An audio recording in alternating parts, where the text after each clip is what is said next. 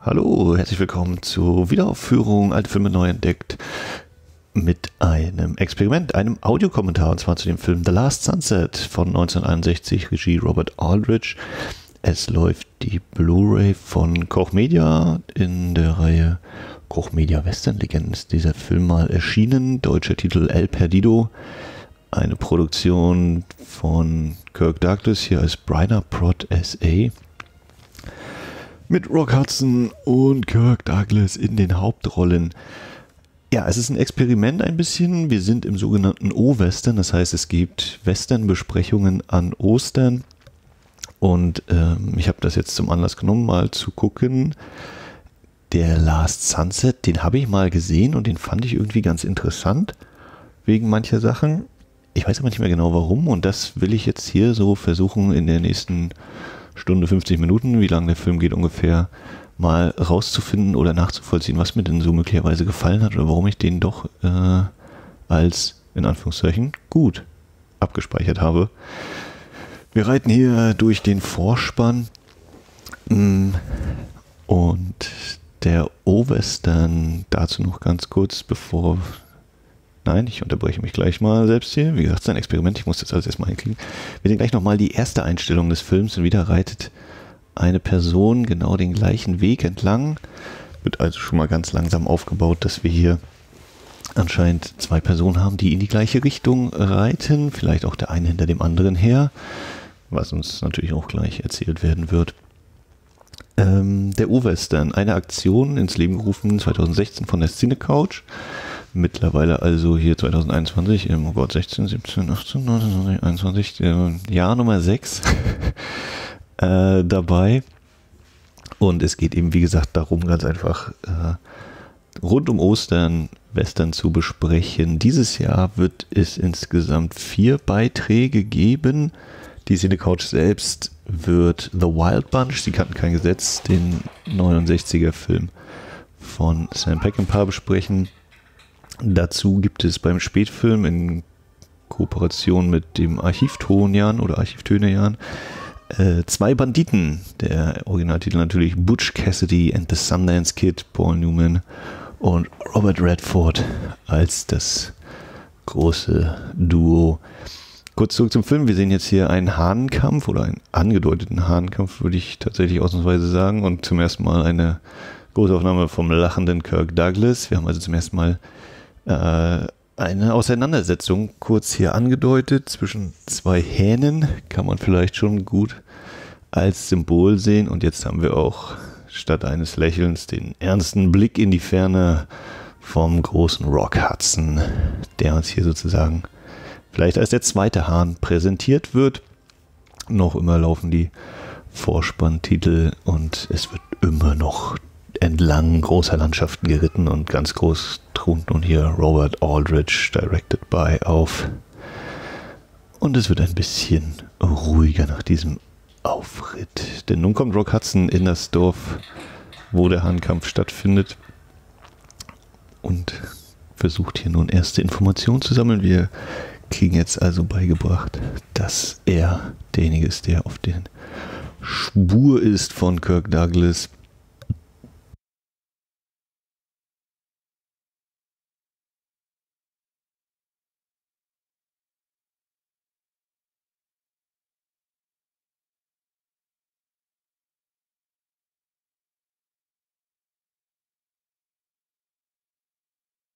ganz kurz noch zwei weitere Beiträge hier zum O-Western sind noch das äh, Filmarchiv, ein Filmarchiv, die besprechen Nicholas Rays Film Johnny Guitar, der unter anderem auch den deutschen Titel hatte, Wenn Frauen hassen.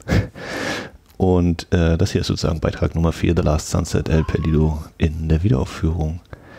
Rock Hudson, ja, ein Loch im Kinn. Ich weiß gar nicht, ob man häufiger mal in irgendwelchen Filmen von mit Kirk Douglas äh, so sehr auf seine Physiognomie eingegangen ist, denn das ist ja wirklich ein sehr, sehr markantes Kinn, was dieser Mann hatte. Und äh, ja, Rock Hudson ist hier, wie wir dann sozusagen jetzt eben durch diese Dialoge erfahren, in Mexiko. Wir sind also south of the border. Ähm, Und hier gibt es dann auch schon die erste Verbindung, die uns noch nicht hundertprozentig klar ist zu diesem Zeitpunkt. Im Mittelgrund sehen wir hier, oder beziehungsweise jetzt rechts am Bildrand, einen Mann, der sich dann als äh, Mitarbeiter von Breckenridge herausstellen wird, der also sozusagen hier ein bisschen gelauscht hat. Hudsons Versuch, O'Malley, wie er ihn nennt, aufzuspüren, bleibt hier zunächst erfolglos. Die Mexikaner haben alle nichts gesehen, trotz versprochener hoher Entlohnung. Wir hingegen haben schon mal erfahren, dass ja, man eigentlich gar nicht noch besser als Bösewicht markiert werden kann. Denn komplett schwarze Kleidung soll er tragen, dieser O'Malley. Und alleine reiten, wenn das nicht den Bösewicht überhaupt markiert. Da hat Henry Fonda sicherlich äh, Ähnliches zu berichten, dann ein paar Jahre später, 1968, mit dem Spiel Das Lied vom Tod.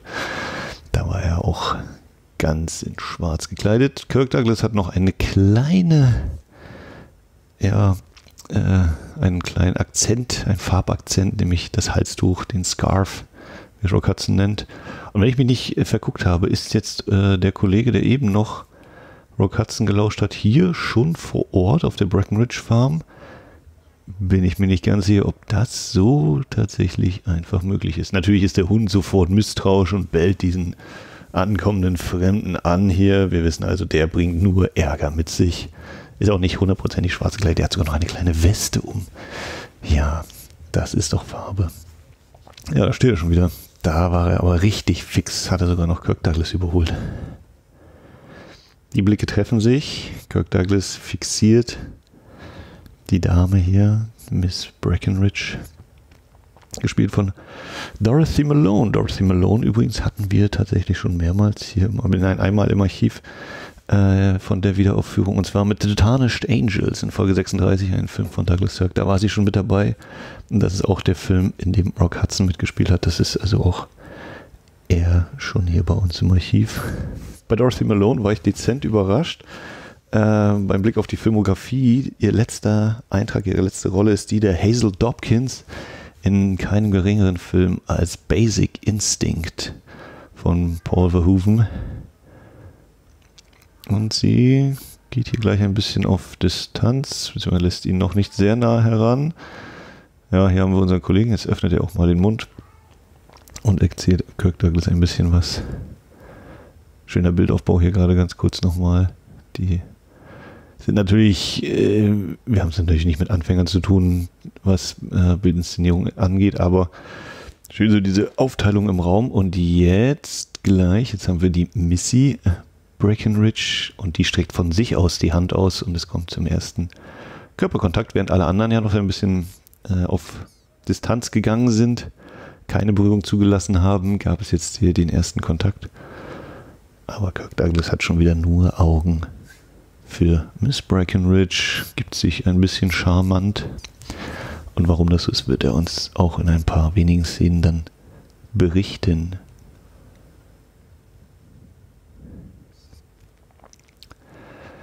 So, nun ist Rock Hudson da angekommen, wo über Kirk Douglas noch die Einblendung directed by Robert Aldrich kam. Und hier haben wir dann so ein bisschen die Klischee-Darstellung. Also es arbeiten hier, äh, da wir auf, in Mexiko sind, auch ein paar Mexikaner für die Breckenridges und ähm, ja, die Arbeit, die sie hauptsächlich machen im Laufe des Films ist, dass sie ihre Instrumente immer ordentlich gestimmt halten und singen und eben Mundharmonika spielen, Gitarre, ich weiß nicht, ob es eine normale Gitarre ist, da kenne ich mich nicht aus. Das ist ein besonderes Modell. Kirk Douglas hat Zeit gefunden, seine Weste abzulegen und, wie ich finde, äh, hat sich jetzt farblich sehr gut angepasst, nämlich jetzt dieses gelbe Halstuch, äh, was gleich im Folgenden aus meiner Sicht die Farbdramaturgie so ein bisschen aufgreift. Aber das dauert noch einen kleinen Moment. Er fängt jetzt hier noch so ein bisschen an, tolle Geschichten zu erzählen.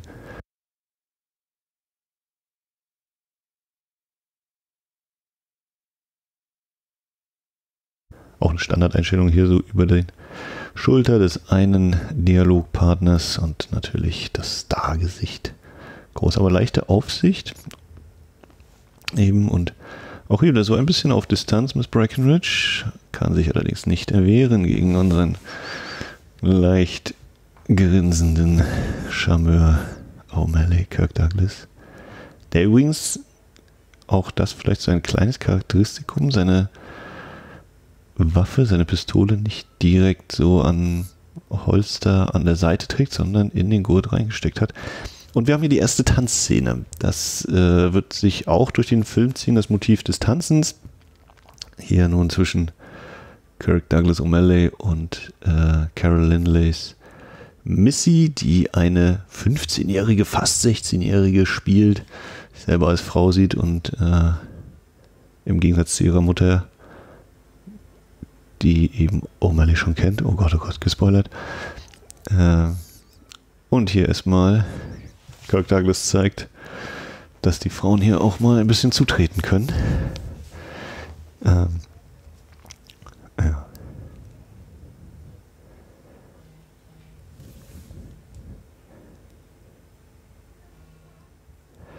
Das ist ein Motiv des Films hier natürlich oder ein, ein Thema des Films, dass sich Missy in O'Malley vergucken wird.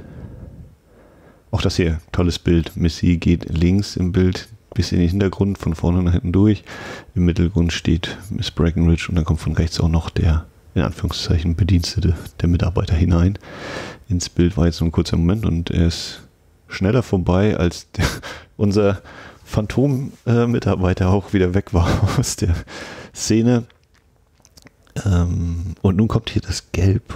Vielleicht korrespondiert das auch ein bisschen mit dem. Und ich bin mir auch nicht ganz sicher, ob das Master hier das allerbeste ist. Also in diesen Momenten hier jetzt gerade ist es sehr schön scharf, sehr schönes Bild. Es kommen nachher immer mal wieder Szenen, die ein bisschen ja, weicher, vielleicht auch ein bisschen weniger scharf wirken.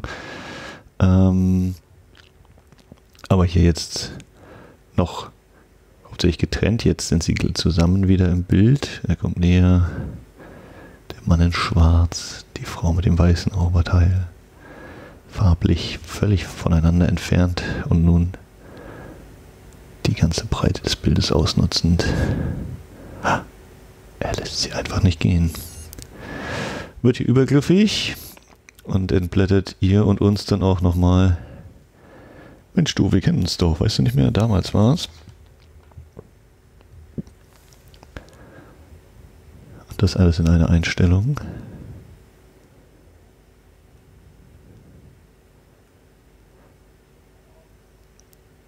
Und das Feuer der Leidenschaft fängt an zu lodern. Also lodert. Und dementsprechend gibt es gleich auch noch ein bisschen eine echte Flamme zu sehen in wenigen Sekunden. Hoffe ich, wenn ich mich nicht völlig täusche.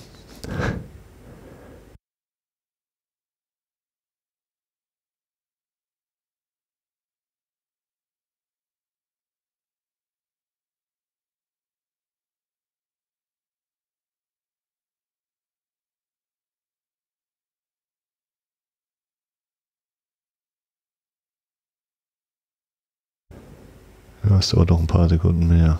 Aber ich meine, hier kommt jetzt gleich nochmal überdeutlich so als Symbol. Vielleicht bilde ich mir das natürlich auch nur ein, aber ich glaube, das gehört dazu, dieses tatsächliche Feuer. Denn auch das Feuer, so habe ich das in Erinnerung, wird noch ein paar Mal auftauchen und sich hier durch diesen Film ziehen.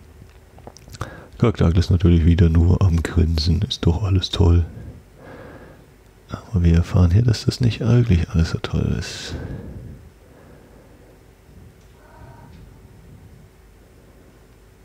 Da gibt es den ersten und wenn ich mich recht entsinne, ist das auch schon der letzte Kuss zwischen diesen beiden. Sie kann sich äh, losreißen. Verharrt noch einen Moment an der Tür. Und hier haben wir jetzt völlig in Gelb getaucht. Ich glaube, ich auch die Farbe für Neid, oder? Gelb, ich weiß es nicht mehr so richtig. Ich meine, bei Sin City war doch unser kleiner gelber Gnom da. Da war das mal kurz hier eben, was ich meinte mit dieser Farbdramaturgie. Also wir haben so die, die kleine Flamme, die so ein Riesenlicht wirft. Unfassbar. Das waren noch echte Kerzen damals äh, im Wilden Westen, die so viel Licht spendeten. Und das eben so ein Gelbtauchen und äh, wie gesagt auch Kirk Douglas, der hier diesen, gel dieses gelbe Halstuch trägt. Und da dann eben so eine leichte Verbindung hergestellt wird aus meiner Sicht. Hier ist jetzt zum Beispiel eine Einstellung, die finde ich fällt qualitativ ein bisschen ab. Genau, nochmal noch hier die Lampe mit Kirk. und Ablende.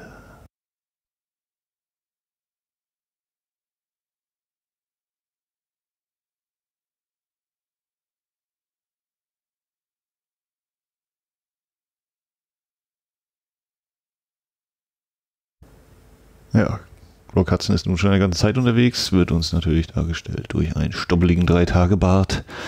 Und jetzt hat er ein rotes Halstuch, muss sich durch den Wind kämpfen. Kirk Douglas, intradiegetische Musik, das Thema, äh, das, das Titellied, meine ich, wird er immer mal wieder pfeifen. Auch ohnehin haben wir ja sehr viel äh, Musik in diesem Film. Wie gesagt, die mexikanische das mexikanische Trio hatten wir jetzt hier schon einmal spielen gehört. Kirk Douglas, der immer mal wieder diese Melodie pfeift. Und sich hier vor allen Dingen oben ohne präsentieren darf. Wer kann da schon wieder stehen? Definitiv nicht die junge Missy. Deren größte Aufgabe in diesem Film wahrscheinlich daran besteht, hier Kirk Douglas anzuhimmeln mit ihren Blicken.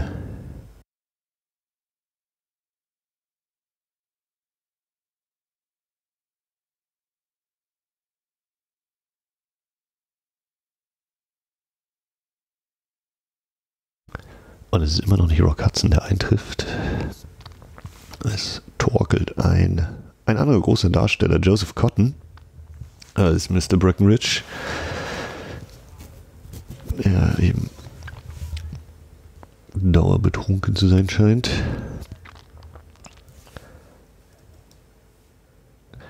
Joseph Cotton haben wir tatsächlich schon drei Filme hier bei uns bei der Wiederaufführung. Wir hatten in Folge 54 The Magnificent Amazons von Orson Welles, mit dem Cotton mehrfach zusammengearbeitet hat, ja auch unter anderem bei Citizen Kane. Haben vor allem in Folge 66 The Third Man, Holly Martins war da, der Schriftsteller auf der Suche nach seinem alten Freund. Ach, wer hat ihn nur gespielt? Ja, Orson Welles. Und er war auch bei Tora, Tora, Tora dabei. Den hatten wir in Folge 164. Da kann also der ein oder andere, wer denn mal Lust hat, vielleicht noch was finden. Ja.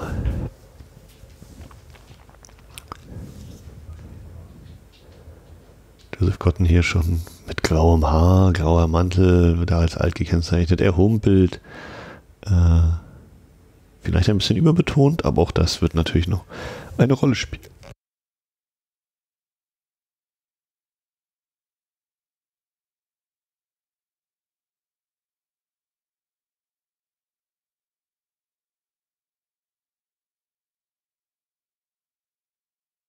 Und wir erfahren nun, dass eigentlich alle irgendwo hin wollen oder hinreisen. Kirk Douglas, äh, hat sich ja jetzt schon so ziemlich aufgelöst, wollte wieder zu Miss Breckenridge.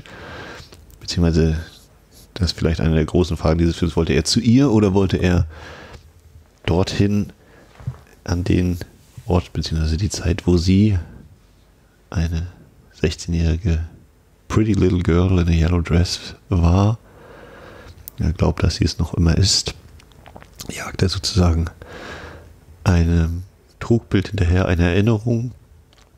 Joseph Cottons Mr. Breckenridge möchte mit einem Track losziehen und ähm, das, ich kenne mich nicht so super aus mit Western. Ich habe noch nicht so viele gesehen. John Ford ist für mich noch sehr viel unerschlossenes filmisches Land zum Beispiel.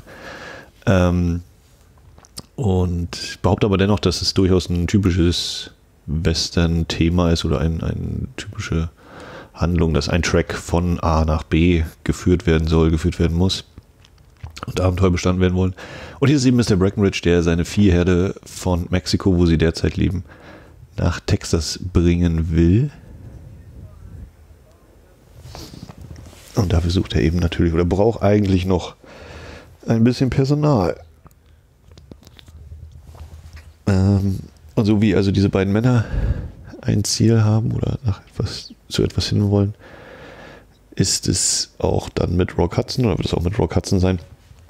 Er ist derjenige, der ein Strafzettel, nein, ein Strafzettel ist falsch, ein, äh, der auf der Suche nach O'Malley ist, weil dieser eben gemordet hat oder jemanden getötet hat.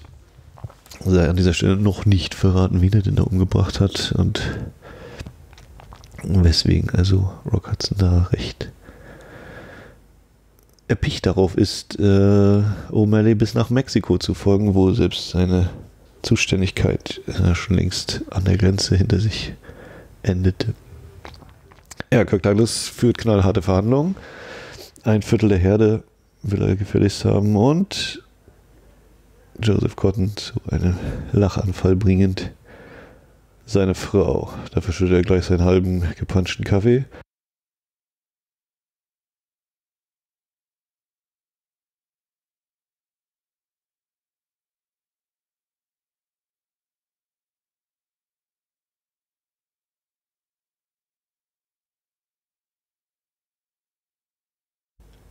Ja, und los geht der Track, auf dem noch so ein paar Leute eingesammelt werden.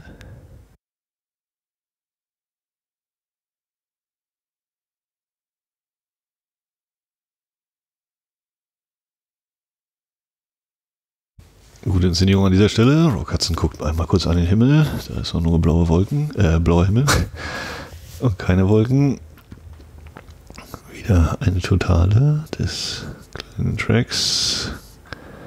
Aufnahme Kirk Douglas, der sich nochmal das Halstuch vom Mund wegzieht, denn dann kann man ja besser sehen, wissen wir alle.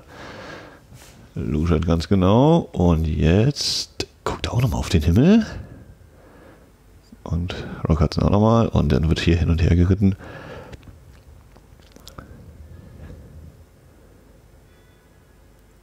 Wir ahnen, äh, die Musik sagt uns das auch nochmal, es wird spannend. Andererseits wissen wir als geneigte Zuschauer natürlich auch, naja, wenn der Film eine Stunde 50 geht, dann wird doch jetzt noch nicht schon einer von beiden sterben oder was. Aber es wird eben sehr klar schon mal etabliert, auch ohne dass die beiden schon groß miteinander gesprochen hätten, sich jetzt erstmals gegenüberstehen. Das Lächeln ist zunächst verschwunden aus Kirk Douglas Gesicht.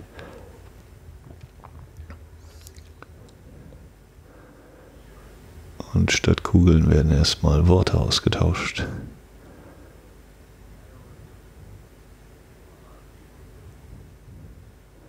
Rock Hudson, wie gesagt, hatten wir schon bei The Tarnished Angels, hat ohnehin mehrmals mit Douglas Sirk zusammengearbeitet und äh, eher so Melodramen, oder nach meinem Eindruck eher Melodramen, da ist das Lachen wieder von Kirk Douglas. Und äh, Komödien, schrägstrich romantische Komödien, beispielsweise mit Doris Day gespielt, glaube ich, also eher nicht der Western-Darsteller, aber vielleicht auch ein Zeichen dafür, dass es hier eher um Gefühle gehen wird oder auch um Gefühle gehen wird. Nichtsdestotrotz natürlich zwei ziemlich große Stars, äh, die sich hier gegenüber im Sattel sitzen.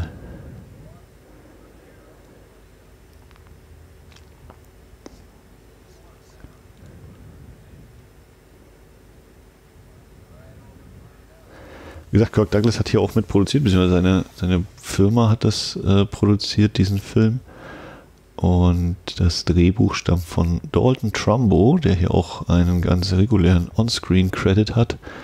Äh, Trumbo, der ein oder andere wird diesen Namen sowieso kennen. Manch einer kennt vielleicht den vor ein paar Jahren mittlerweile wieder erschienenen Film mit Walter White und ähm, ja, jetzt komme ich natürlich auf den Namen des Schauspielers.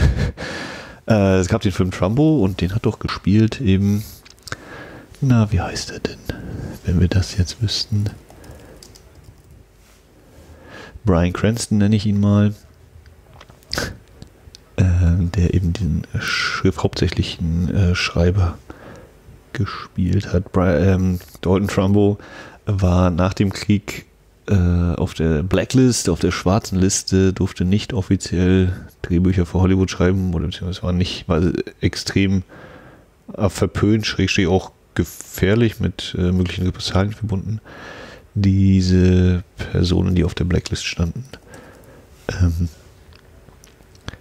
zu verpflichten oder ihnen einen Credit zu geben. Und so waren dann diverse Filme die für die Dalton Trumbo von etwa 45 bis etwa 1960 geschrieben hat, nicht mit seinem Namen versehen in den Credits. Teilweise wurden andere Screenwriter genannt oder es gab eben keine, einfach keine Nennung. Oder es waren auch weitere Leute beteiligt, die dann einfach den Credit erhalten haben. Und Kirk Douglas war einer derjenigen, äh, die eben, ich weiß nicht genau, glaube schon Ende der 50er dann gesagt haben, äh, als die Produktion von Spartacus begann, dass er Dalton Trumbo für das Drehbuch nehmen wird. Und ohne mich jetzt ganz in alle Tiefe da eingelesen zu haben, äh, meine ich, dass das so mit der Wendepunkt war, wo sich das dann mindestens für Dalton Trumbo die Verhältnisse quasi besserten. Und er dann eben auch wieder äh, seinen Namen auf der Leinwand lesen durfte, wenn er sich dann die Filme, für die er geschrieben hat, angeschaut hat. Und so beim Spartacus 1960 und dann haben wir hier eben diese Zusammenarbeit von Douglas und Trumbo wenig später. Ja. Die Flamme der Leidenschaft ist jetzt ganz klein hier. Sehen wir an dieser äh, Kerze, an diesem Docht. Und vor allem Rock Hudson plötzlich wieder schön glatt rasiert.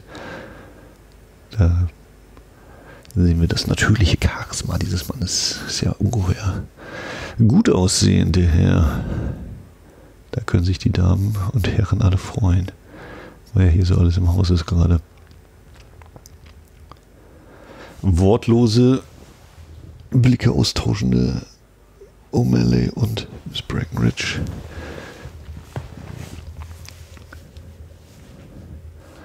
Was uns also neben dem Dialog, der hier abläuft, äh, wieder mal so ein Kinofilm, ne? Man, wenn man ihn wegguckt, dann verpasst man das einfach.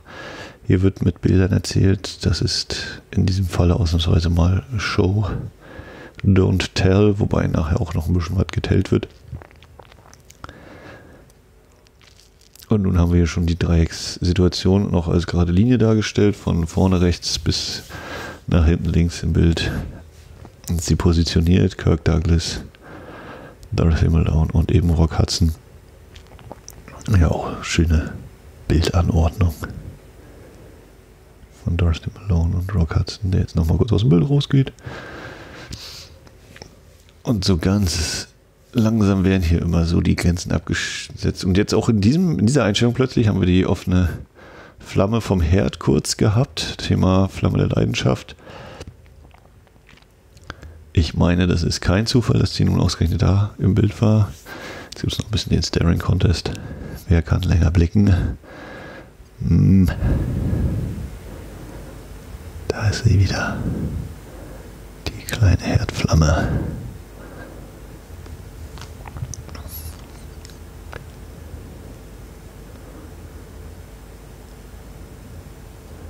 Während bei Rock Hudson immer noch nur ganz leicht dieser Docht glimmt, quasi. Denn auch jetzt in dieser Einstellung, dieser Zweieraufnahme hätte es ja sein können, dass wir die Herdflamme nochmal sehen, aber nein, die ist jetzt weg. Deswegen behaupte ich, die verbindet eben, ist ein Symbol für die Leidenschaft und nicht einfach nur so eine kleine Kochflamme, sondern eben auch ein Bild für Kirk Douglas, der jetzt mal richtig böse wird. Sehr schönes Arbeiten hier mit dem Überlagern.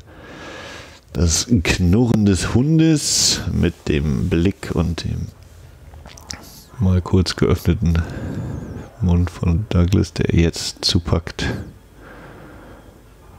Unschuldigen.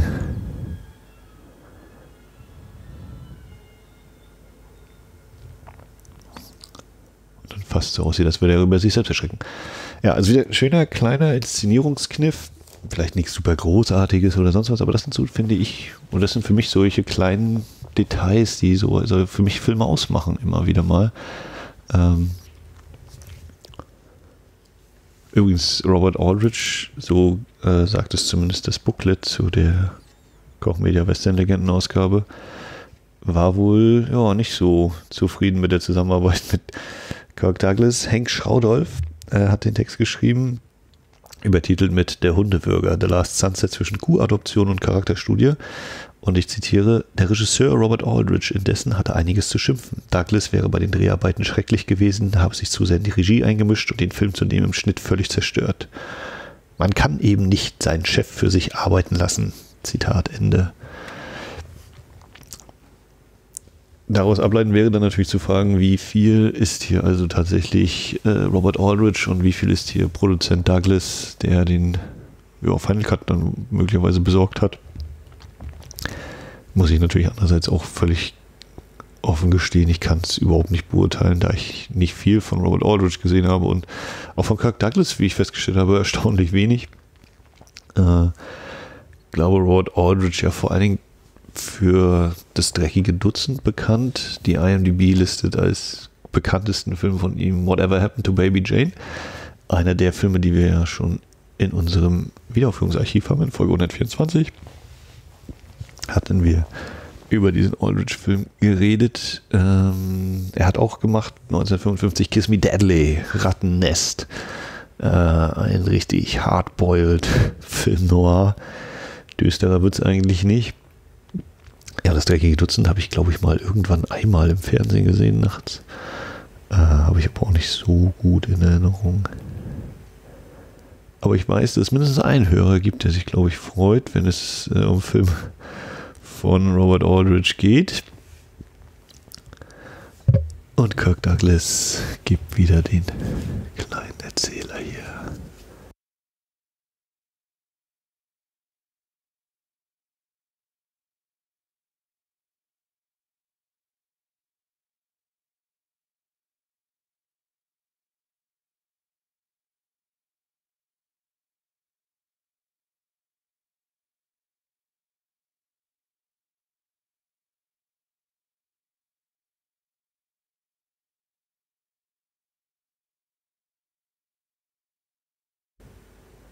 Klar erkennbar hier als Studio. Man sieht hinten die äh, der Vorhang ist natürlich kurz die Leinwände, die aufgespannten.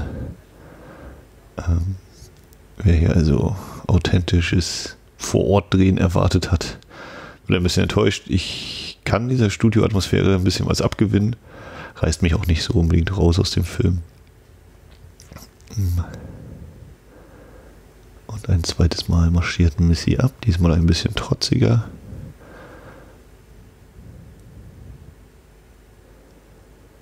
Und die beiden Feinde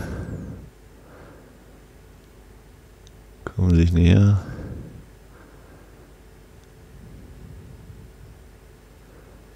Zum ersten Mal hier also eine Waffe aufeinander oder auf den anderen gerichtet.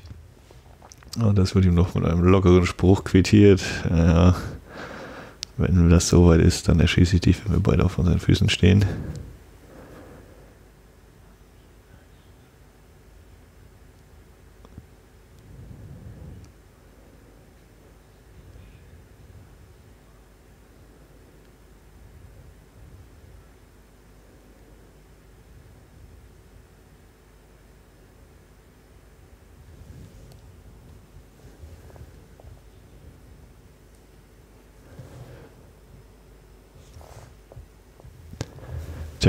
Und da gibt es dann auch mal die Infos, was eigentlich los ist.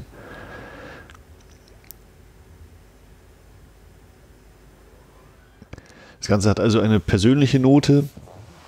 Der Ausritt von Rock Hudson. Es geht also nicht nur darum, dass er hier das Gesetz einhalten möchte. Hier kriegt meine Theorie eigentlich vielleicht ein bisschen äh, Brüche. Thema gelber, gelbes Halstuch. Das trägt jetzt nämlich auch Joseph Cotton. Und Miss Breckenridge zieht hier den Planwagen oder die hält die Zügel in der Hand.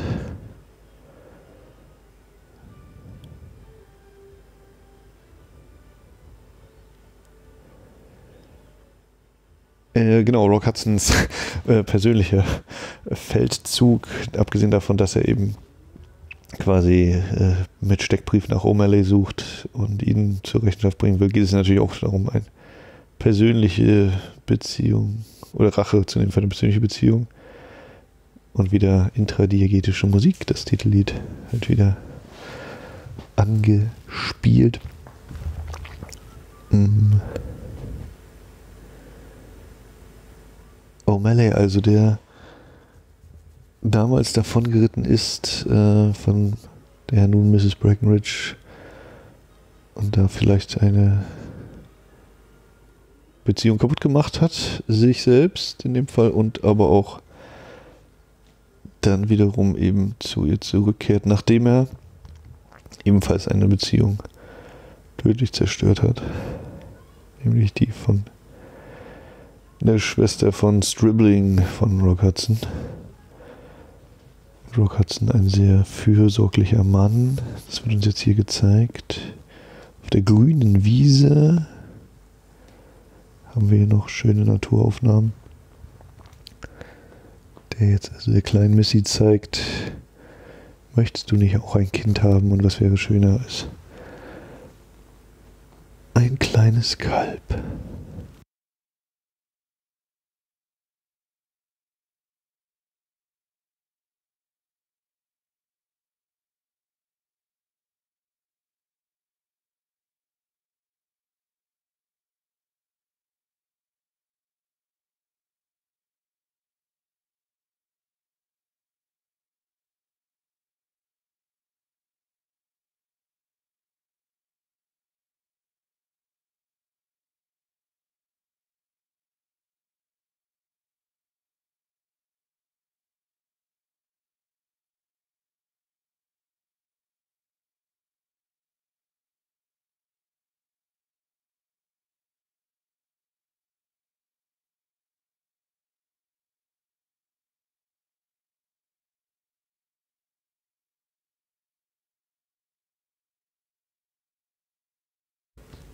Und jetzt, es ist ja fast Zauberei. Das Kalb folgt ihr.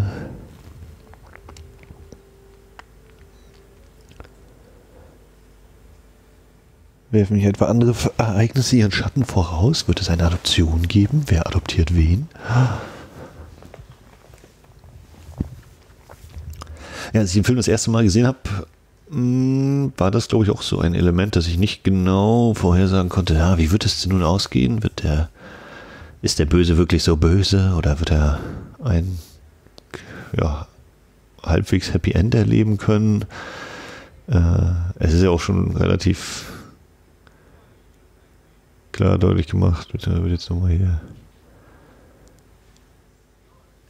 versucht die Männer äh, irgendwelche Besitzansprüche anzumelden.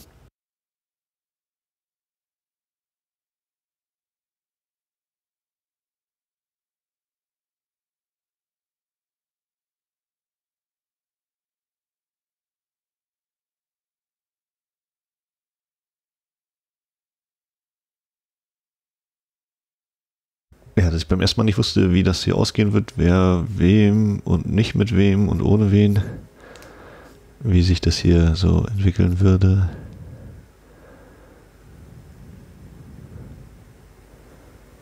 Ah, Joseph Cotton.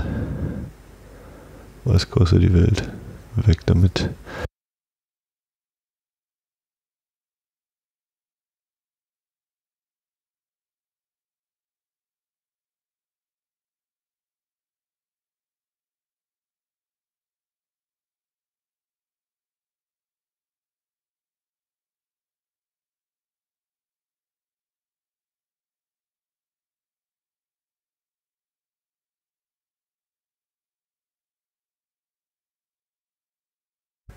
Der Film aus meiner Sicht überwiegend, äh, würde ich das mal so als routiniert inszeniert beschreiben. Director of Photography war Ernest Laszlo, hat unter anderem auch Urteil von Nürnberg in Szene gesetzt, äh, aber auch ein paar Mal mit eben Robert Aldrich zusammengearbeitet. Äh, zum Beispiel bei Veracruz 1954 mit Gary Cooper und Burt Lancaster. Oder auch mit Billy Wilder Filme gedreht. Ich habe beim Überfliegen seiner Filmografie von Ernst Laszlo noch festgestellt, DOA, Dead on Arrival von 49, den hat er auch bebildert. Da waren auch ein paar kleine schöne äh, Bilderchen dabei. Und hier, wie gesagt, finde ich äh, überwiegend so in Anführungszeichen standardmäßig inszeniert, aber ab und zu gibt es dann auch mal so, da lässt er mal einblicken. Kann ich natürlich nicht hundertprozentig beurteilen, ob das nun an Laszlo liegt oder an Aldrich oder, oder, oder. Hier auch wieder die grundsätzliche Nähe der Figuren, aber jetzt sind sie mal alle drei im Bild. Davor war eben Douglas alleine und Hudson Malone waren gemeinsam im Bild, wo eben auch hier äh, Charakterisierung erfolgen aus meiner Sicht über das Bild. Ich will das nicht zu sehr betonen, aber ja, ich glaube, dass da eben noch ein bisschen drin steckt. Auch wieder eine relativ lange Einstellung jetzt gerade. Hudson ging ein bisschen hin und her. Und der Hund darf auch noch ein bisschen mehr Screentime bekommen. Wie gesagt, Douglas ist wirklich fast dauergrinsend in diesem Film unterwegs, echt faszinierend. Wenn dann mal das Grinsen nicht da ist, dann fällt es umso mehr auf, ja. Könnte man auch sagen, es ist schon wieder der Hund in der Nähe und schon wieder guckt er so grimmig. Vielleicht auch das eine Wiederholung. Hm. Und da muss natürlich erstmal die Frau wieder sagen, so, Leute, lasst mal eure Hosen geschlossen und konzentriert euch mal auf die Aufgabe hier.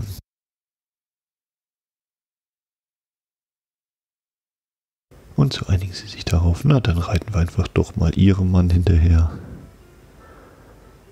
Und na sowas.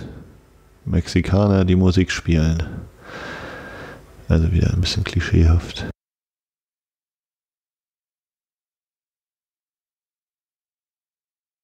Und auch Joseph Cotton äh, der Vergangenheit verhaftet. General Jackson, dem konföderierten General.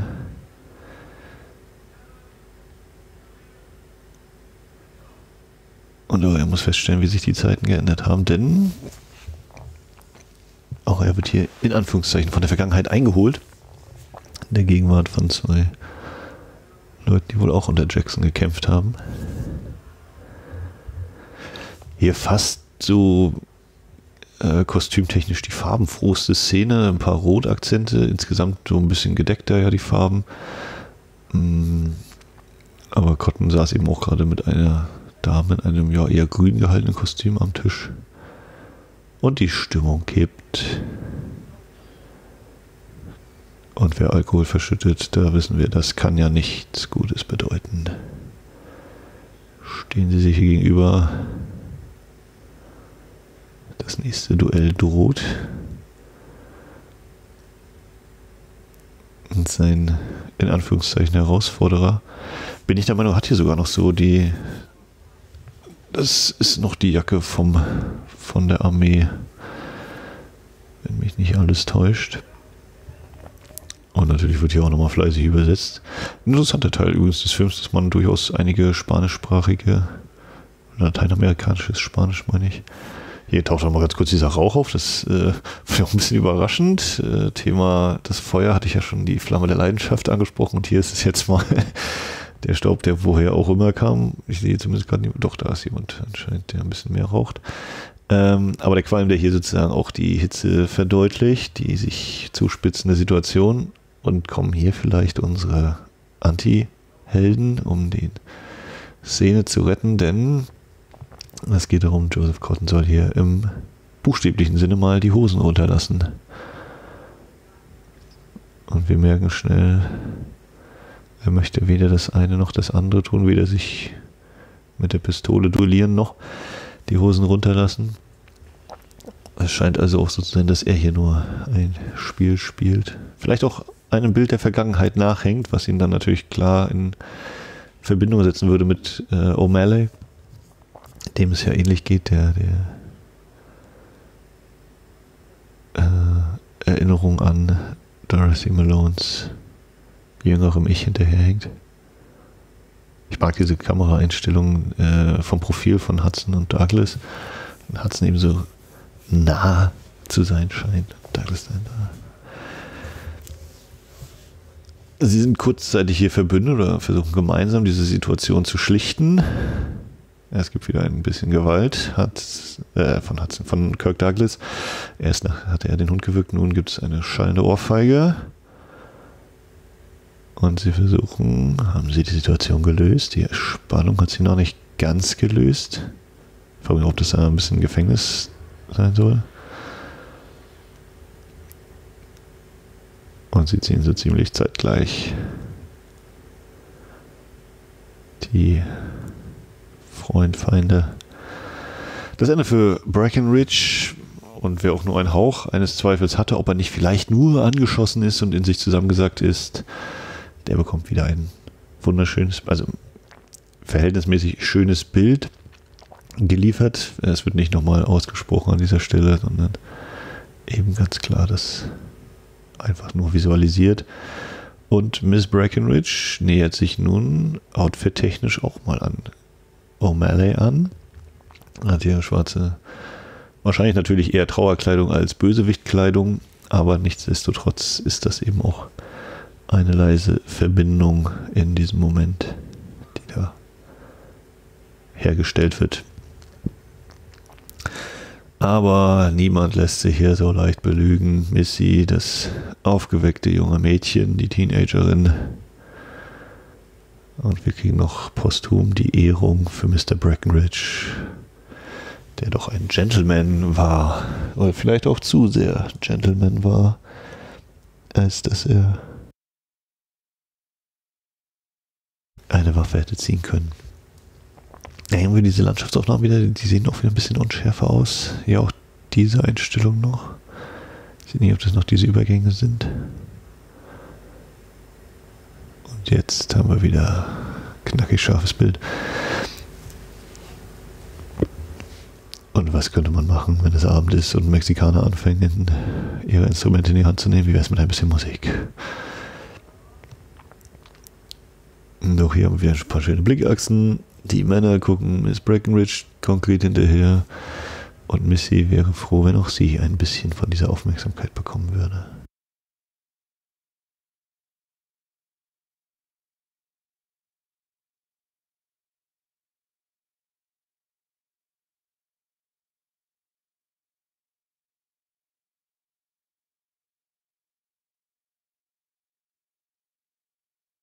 Meine Mini-Recherche hat ergeben, dass dieses Lied Kukurukuchu Paloma, ich hoffe, ich habe es annähernd richtig ausgesprochen, ähm, in den 1950ern komponiert wurde und es daher unmöglich ist, dass Rock Hudson das, ja, Mensch, Kirk Douglas das äh, zu der Zeit, in der der Film hier vor Maß, na, vorgeblich spielt, schon gekannt haben könnte, geschweige denn unsere drei Mexikaner hier. Die Taube, die Paloma. Ja, kann ich auch nicht so richtig einordnen. Ich glaube, sonst sind Western nicht unbedingt so musikal. Also, dass man irgendwie so hier am Lagerfeuer oder so vielleicht so ein bisschen mal die Gitarre in die Hand nimmt, das mag schon sein. Wie gesagt, ich spekuliere jetzt auch ein bisschen, aber ich meine, so relativ viel gesungen wird doch sonst nicht im Western. Das ist doch eher die Ausnahme. Auch wenn wir natürlich bei dem O-Western äh, letztes Jahr den Beitrag Annie Get Your Gun hatten, bei dem es sich ja um ein Musical handelte. Also es gibt ja schon äh, Western und Musik, das geht zusammen, aber hier ja eher in anderer Art und Weise.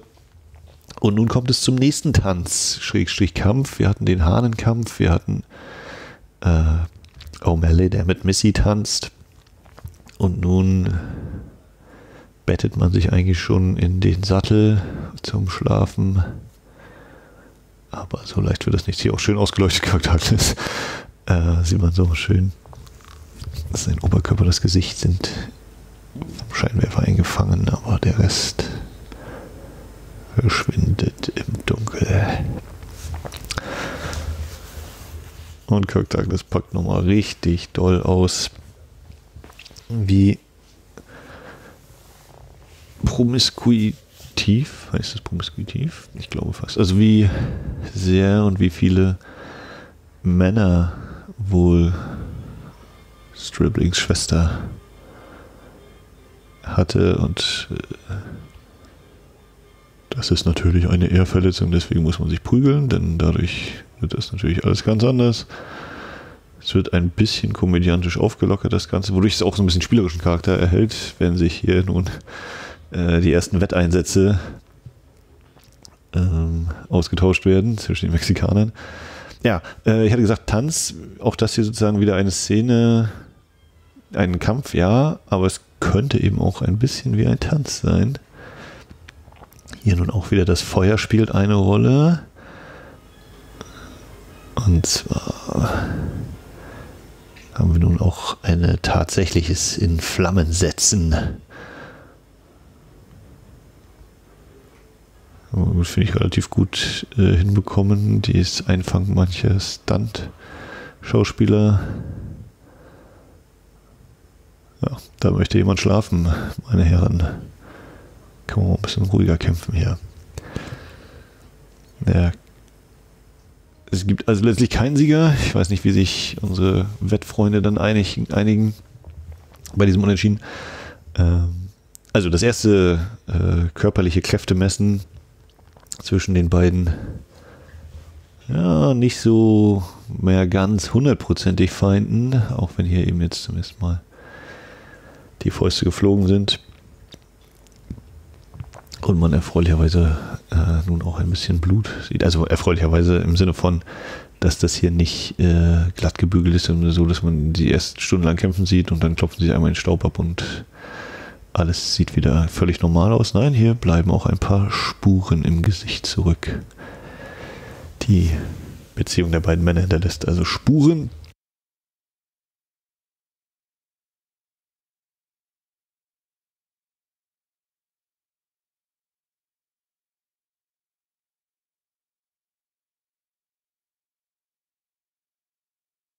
Kaum, dass er sich einmal geprügelt hat. Könnte auch sagen, er hat von Kraft geträumt, unser Stribbling, aber hat natürlich gemerkt, auch er findet Gefallen an Miss Breckenridge. Erzählt ihr was von Polarstern, vom Nordstern, nee, doch Polarstern. Ähm, und auch das ein Punkt, die Sterne oder eine Erzählung dass, dass jemand, Frau Breckenridge, abends was erzählt von Sternen, was so ein bisschen vorgeschoben ist oder meine Erzählung ist, das wird später auch nochmal äh, vorkommen im Film. Also auch da eine quasi Verbindung, dass beide Männer sich vielleicht gar nicht so unähnlich sind im Werben um die Frau.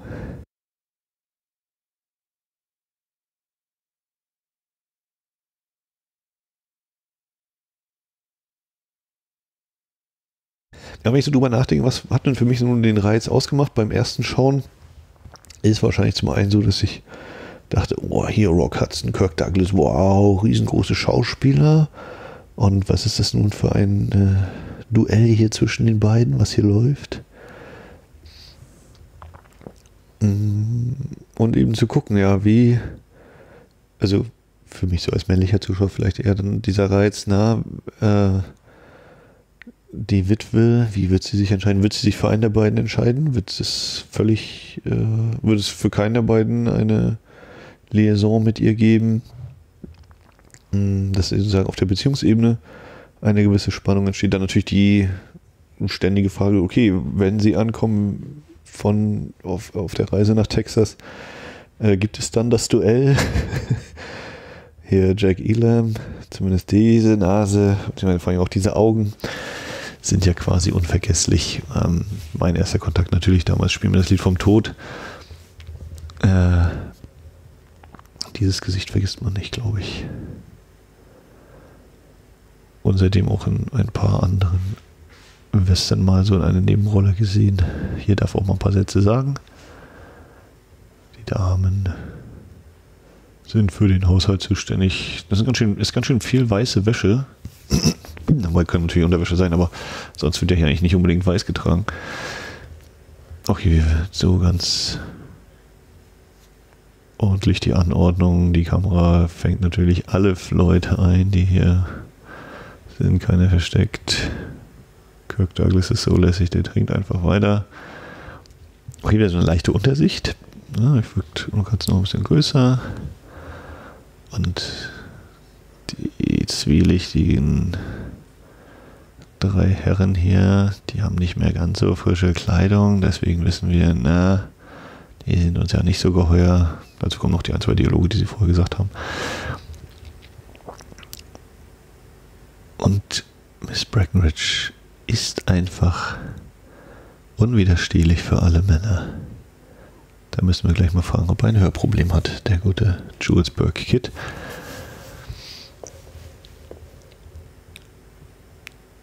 Ja, nun hat er mit Missy getanzt, den Hund gewirkt, hat gerauft mit Stribbling und dann wird es auch gleich noch eine weitere annähernd Tanzszene geben von O'Malley.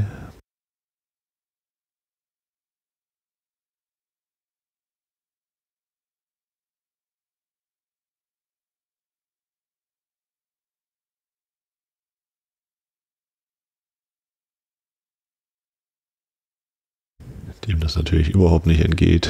Ja, jetzt habe ich dem Jungen noch schon Bescheid gesagt. Das kann ja nicht sein.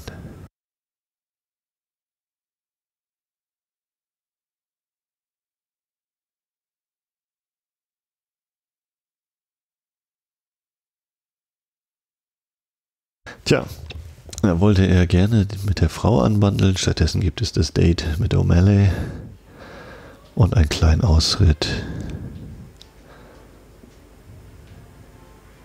Und die nächste im übertragenen Sinne Tanzszene, wie ich finde. Äh, vielleicht durchaus bezeichnend oder vielleicht auch wenig überraschend, dass äh, Kirk Douglas, wenn er denn zu sehen ist, hier in nur einzeln im Bild ist und nicht auch die andere Person erkennt. Na gut, hier ist mal erkennbar, aber überwiegend so eben getrennt oder eben dann aus ein bisschen Entfernung gefilmt, da es sich wahrscheinlich natürlich um Stunt-Schauspieler handelt.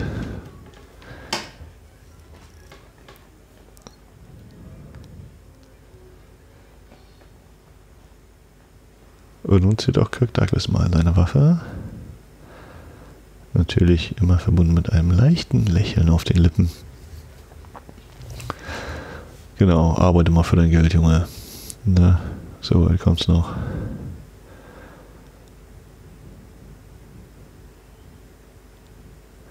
Immer wieder so ein bisschen Panoramaaufnahme.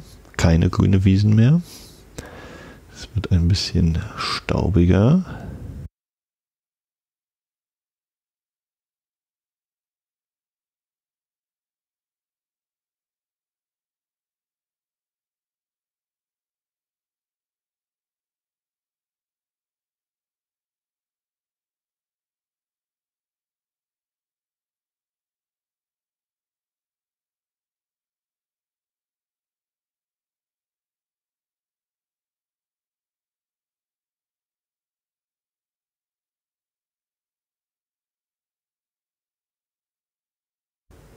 Wenn Rock Hudson mit Jungtieren was machen kann, dann kann das auch Kirk Douglas eher mit ein paar kleinen Vögelchen. Da kommt man sich näher, ne?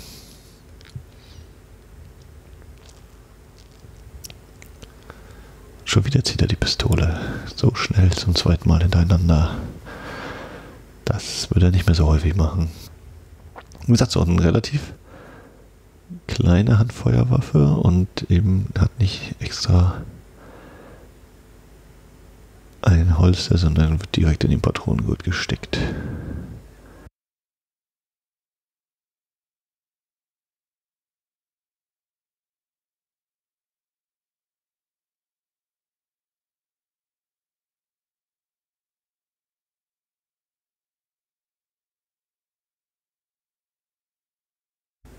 Noch ein paar sehnsuchtsvolle Blicke. Und dann zieht die Karawane weiter.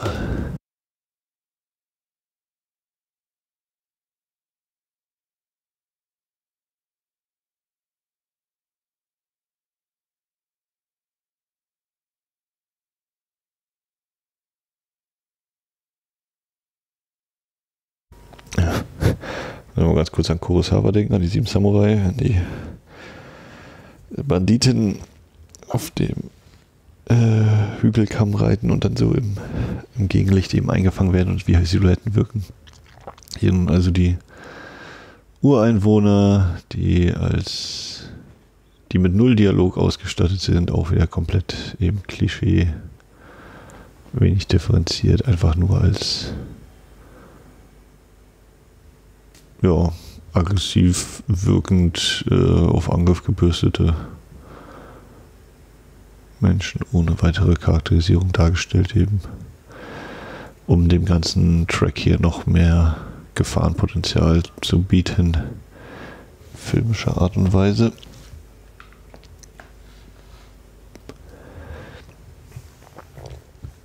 Jetzt habe ich erstmal als keine richtige Erklärung für das offene Feuer in Verbindung mit Leidenschaft oder ähnlichem ein bisschen Day for Night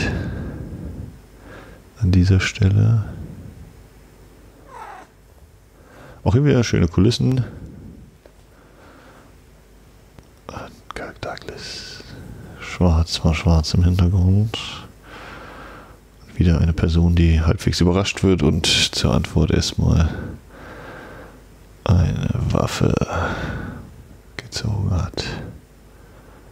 Und Kirk Douglas grinst sich weiter durch diesen Film. Das ist schon ein bisschen auffällig. Und jetzt sind wir also wieder an einem Zwischenlager und jetzt wird aber nicht der Planwagen zurechtgerückt in Richtung des Polarsterns. Jetzt gibt es einen sehr überraschenden visuellen Effekt.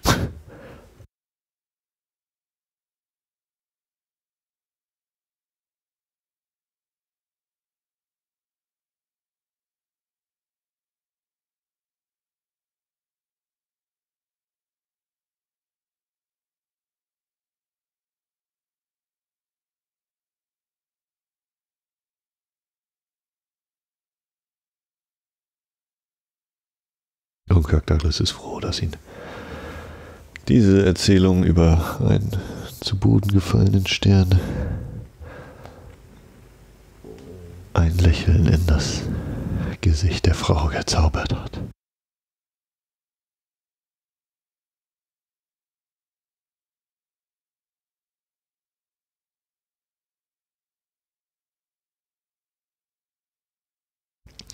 Ja, wir sind ja so ja, ein bisschen schon über Halbzeit. Und hier wird jetzt nochmal, oder werden jetzt zwei Szenen aufeinander folgen, in denen mal so ein bisschen die Verhältnisse klarer gemacht werden, die Grenzen quasi gezogen.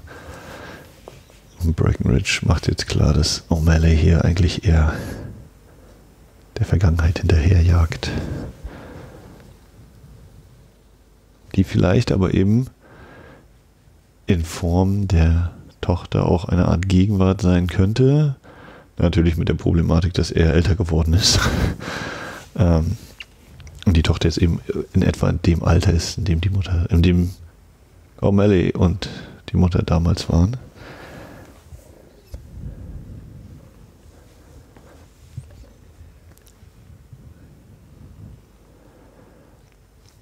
Aber schon ziemlich von ihr durchaus deutlich gemacht wird, dass mit uns beiden, nee, nee, kannst du knicken.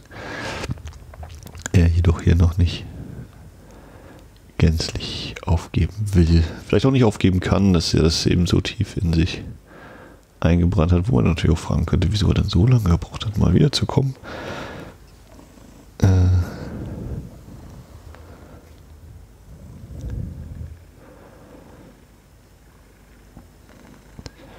Aber wenn die Frauen das so deutlich sagen, muss ich natürlich an Michael Mann denken, mein Lieblingsregisseur.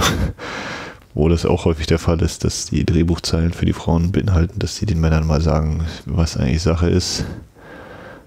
Äh, damit sowohl die Männer als auch die Zuschauerinnen gegebenenfalls Bescheid wissen, was eigentlich Phase ist. Und nun hier zum diesem Zeitpunkt der Szene drehen sich die größten Verhältnisse quasi um. Sie schaut nun herab. Sie ist aufgestanden und Kirk Douglas muss jetzt hochblicken. Das war ja eingangs anders. Aber ganz so leicht lässt er sich nicht unterkriegen. Diesen Handkurs kennen wir doch. Der hat doch Missy schon mal bekommen, aber die hat noch einen bekommen. So, Beziehungsgemenge 1 quasi geklärt. Nächster Tag und zeitgleich mal noch Beziehung Nummer 2 abzustecken. in der Nähe einer Kirche. Und was könnte man so, Mann und Frau bei einer Kirche, worüber könnte man da noch reden?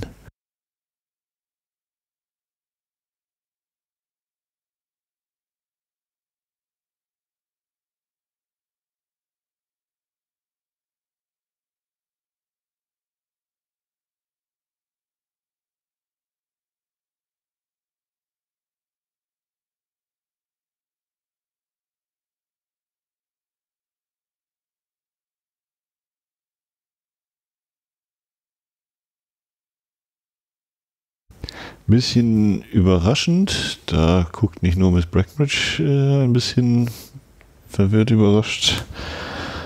Auch ich äh, hätte nicht damit gerechnet, dass Rock Hudson hier jetzt erstmal eröffnet, dass er sie heiraten wird und äh, dass das natürlich völlig feststeht. Da gibt es überhaupt nichts dran zu rütteln. Der Track wird abgeliefert, sie ist Witwe und da steht er natürlich gerne bereit für die Witwe um sie zu trösten.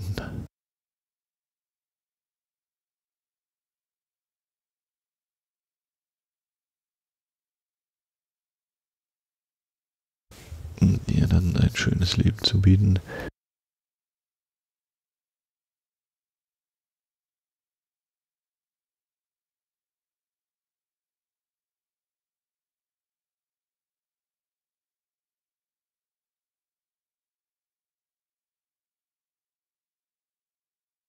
Ich meine, das war auch bei Was der Himmel erlaubt ähnlich. Also die, diese Rolle von Rock Hudson, der damit eine Witwe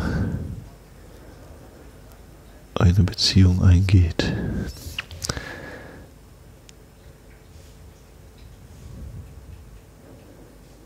Ja, und so haben wir mit zwei Szenen quasi kurz nach Hälfte des Films einmal quasi abgesteckt bekommen, wie sich so die Männer hier diese Sachen vorstellen. Der eine hat eine relativ klare Zurückweisung bekommen, der andere eine, oh, kann ich da als Frau nicht auch ein Veto einlegen und selbst mal entscheiden?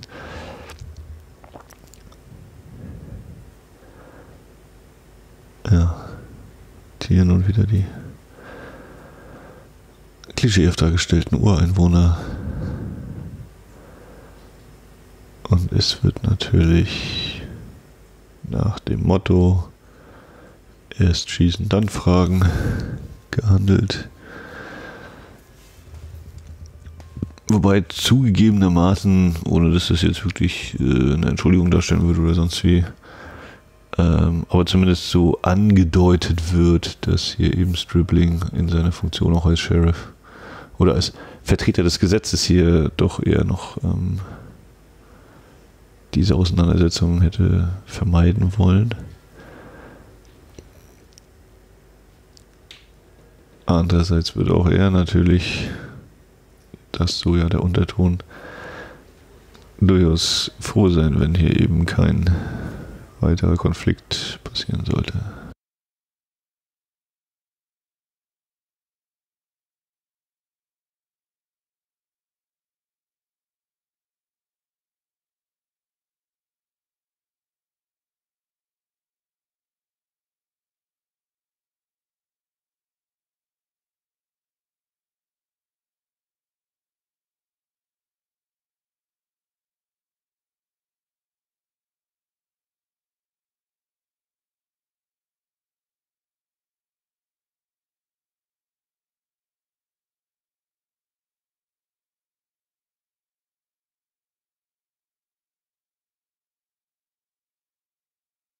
Ja, und der Track hat schon so lange angehalten, da sind die drei natürlich schon wieder abgehüpft von ihren Pferden.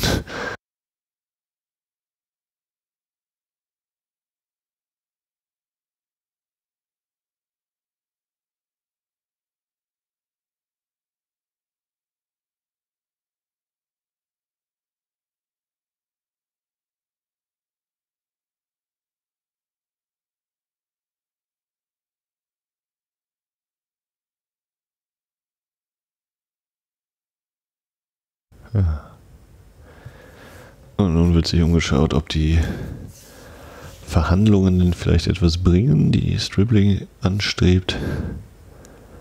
Im Gegensatz eben zu O'Malley, der, wie gesagt, erst schießt und später Fragen stellt.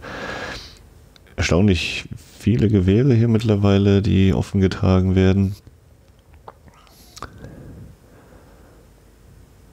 Außer von den drei Helfershelfern, die sind völlig entspannt. Doch, da hat auch einer ein Gewehr in der Hand. Unfassbar. Ein seltener Moment, die mexikanischen Kollegen ohne Musikinstrumente in den Händen. Und da am Horizont ist da jemand langgelaufen. Da hat sich da was bewegt. Und noch mehr Waffen werden gezogen.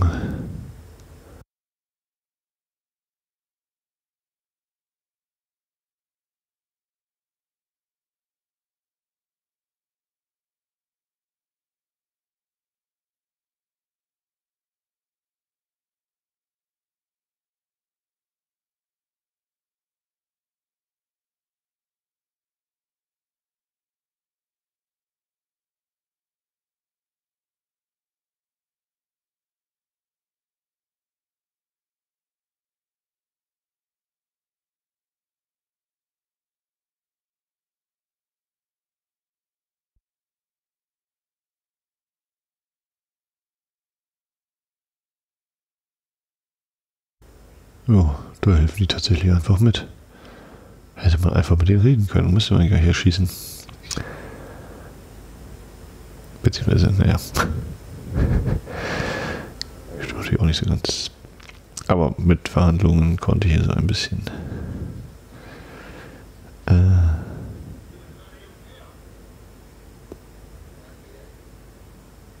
der Tod des einen.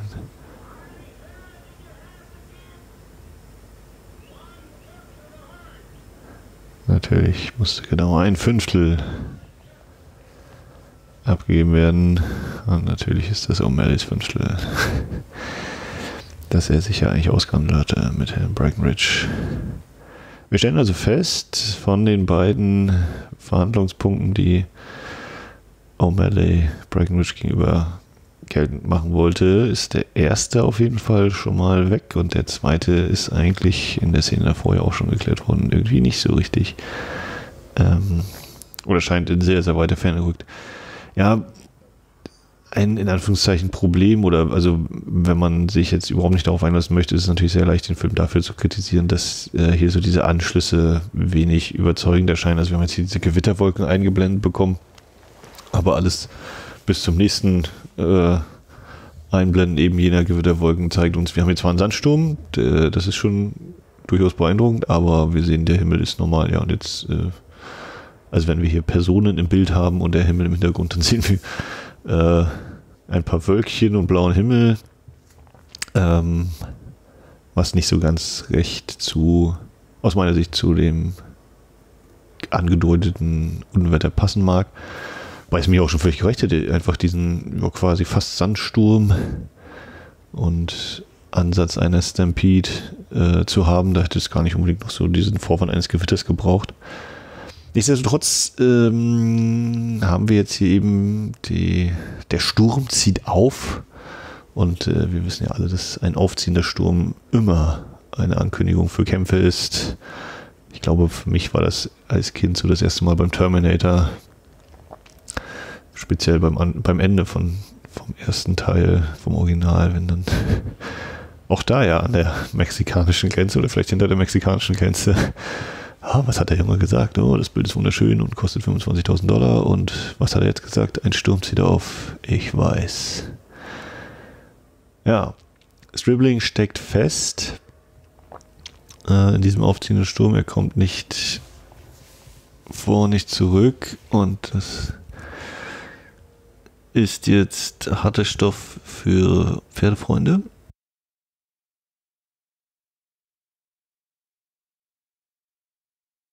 Josh Lucas hat sich hier natürlich ganz klar inspirieren lassen. I have the high ground. in Episode 3.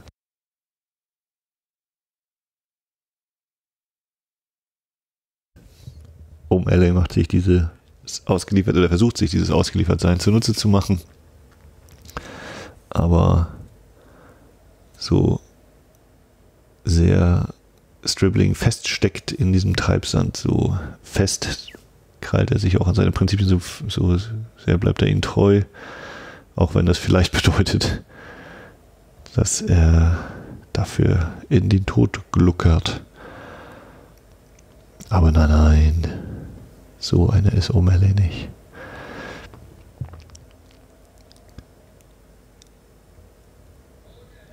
Es gibt zumindest anteilig eine Rettung.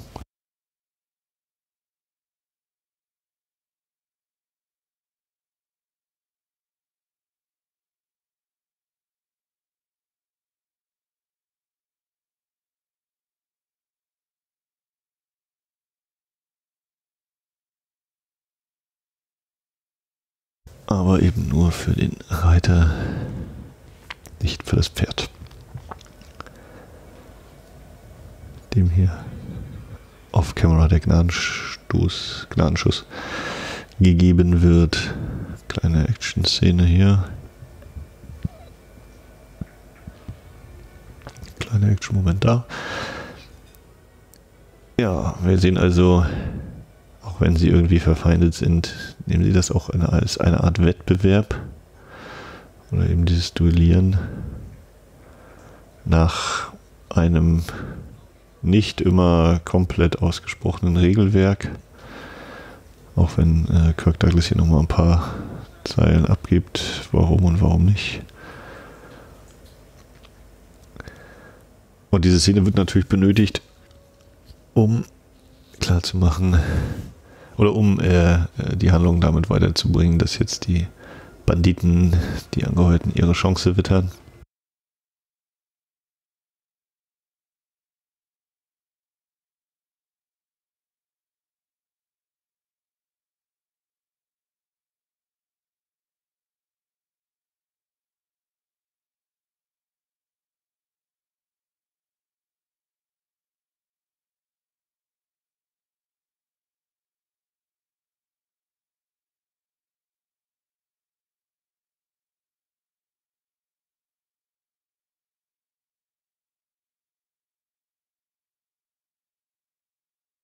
Aber unsere Helden nehmen die Verfolgung auf. Und auch Missy ist. gibt sich nicht einfach so geschlagen, sondern schlägt auch um sich.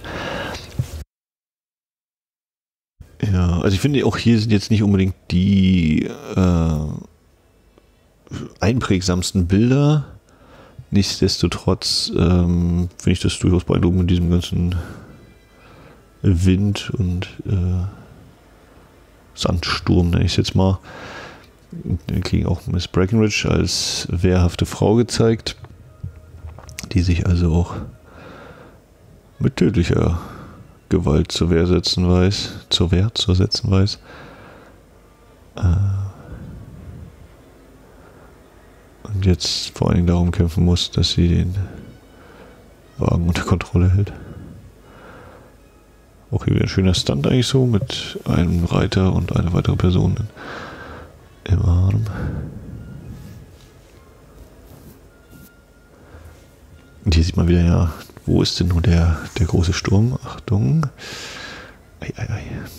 Pferdchen.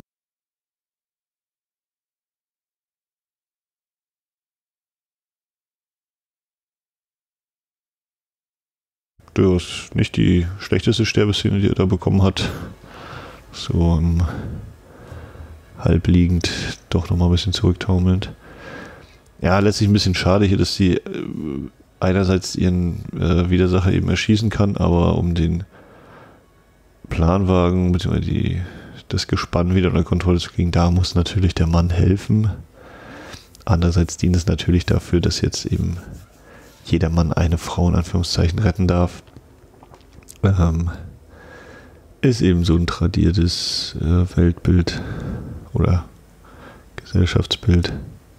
Und jetzt ist tatsächlich der Regen gekommen. Gut, kann man natürlich vielleicht argumentieren, dass die anderen Gewitterwolken erstmal nur so die Vorboten waren und eben der tatsächliche Sturm dann jetzt kommt oder der, der Niederschlag. Ja, und während Kirk Douglas eigentlich immer mit dem Feuer verbunden ist, die Leidenschaft, ähm, gibt es nun auch Leidenschaft im Regen. Und da ist natürlich jegliches, jeglicher Anflug eines Lächelns verschwunden bei ihm. Ah, da kann er nur abdrehen. Während eben andere ihr Glück zu finden scheinen.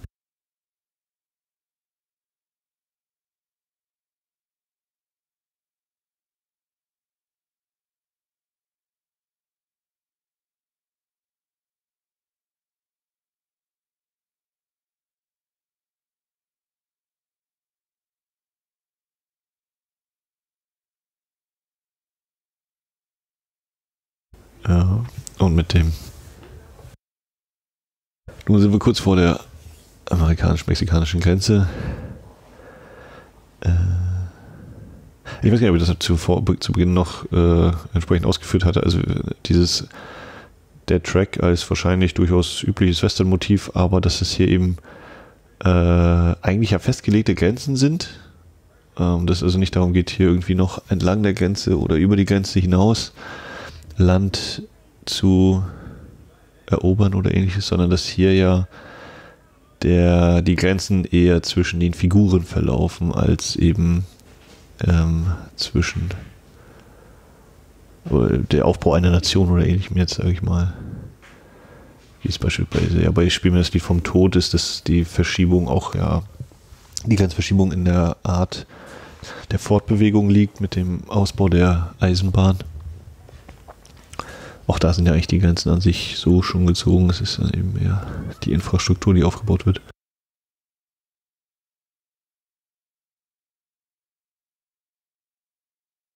Ja, und O'Malley, der jetzt hier eben versucht, den Showdown, den Höhepunkt, doch nochmal herauszuzögern. Aus ja, eigenwilligen Motiven.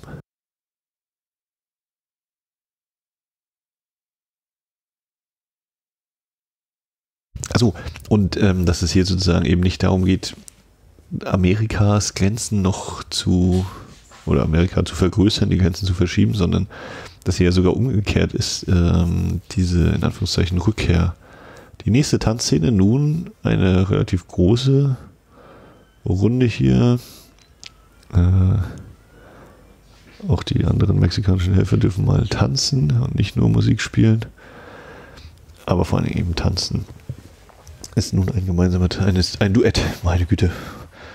Das habe ich auch Quatsch. Also der Paartanz zwischen Stribling und Miss Breckenridge. Hier noch Michael Flatleys äh, mittelamerikanische Verwandte in einer Großaufnahme.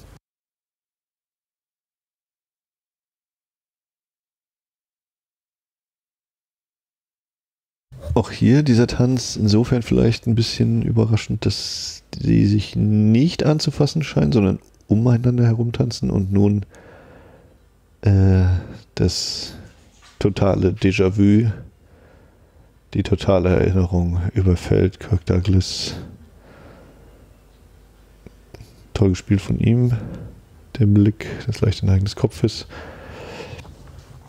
Und dann sieht er eben in die Vergangenheit und sieht wie damals eigentlich seine Liebe, die sich hier nun fast geküsst hätten.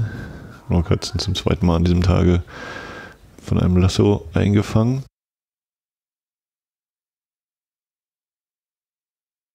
Es gibt einen leichten humorigen Bruch. Wo sind denn die Schüchen? Die können wir eigentlich auch anziehen. Ja, es ist das Kleid der Mutter, das sie damals trug. Ähm, und für, oder in meiner Interpretation der Figur O'Malley's äh, ist es natürlich für Kirk Douglas unmöglich, hier nur Missy zu sehen, sondern er sieht natürlich die Mutter, äh, kann sich dem eigentlich nicht entziehen. Hat natürlich die Problematik, dass er jetzt schon, dass er deutlich älter ist, während eben das Kleid und der Mensch in diesem Kleid quasi das Alte der Erinnerung haben. Auch hier wieder die Anordnung der Figuren. Douglas und Missy, äh, O'Malley und Missy gemeinsam. Miss Breckenridge eher am Rande, wenn überhaupt gemeinsam im Bild. Und nun gibt es wieder einen Tanz mit Berührung, im Gegensatz zu dem kurz zuvor erfolgten Tanz. Und hier haben wir auch das ganze Orchester jetzt am Start. Die Paare finden sich.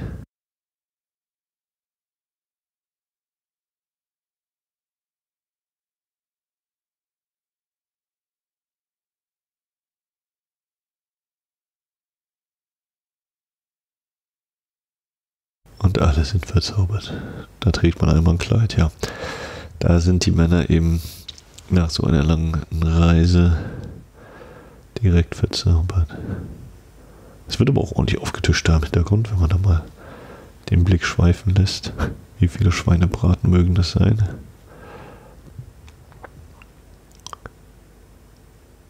Und noch immer äh, kaum körperliche Berührung zwischen Bracken, Miss Breckenridge und Stibling. Stribling. Und der nächste Gesang, den er anstimmt.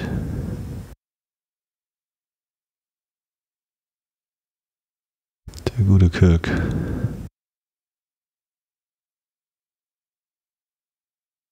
Bevor es vorbei ist mit der trauten Zweisamkeit. Und irgendwie hat er ja recht. Irgendeiner muss doch mal was sagen, Leute. Das geht doch nicht.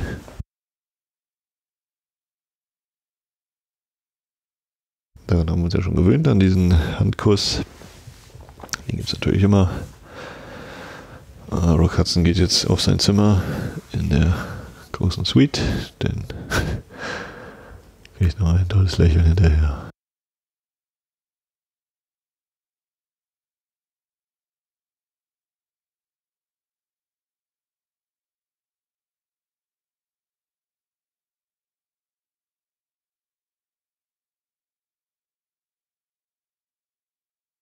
Ja, wie erwähnt, das Ganze hier ein bisschen als Experiment gedacht. Ähm, sehr gerne auch Rückmeldung mal geben.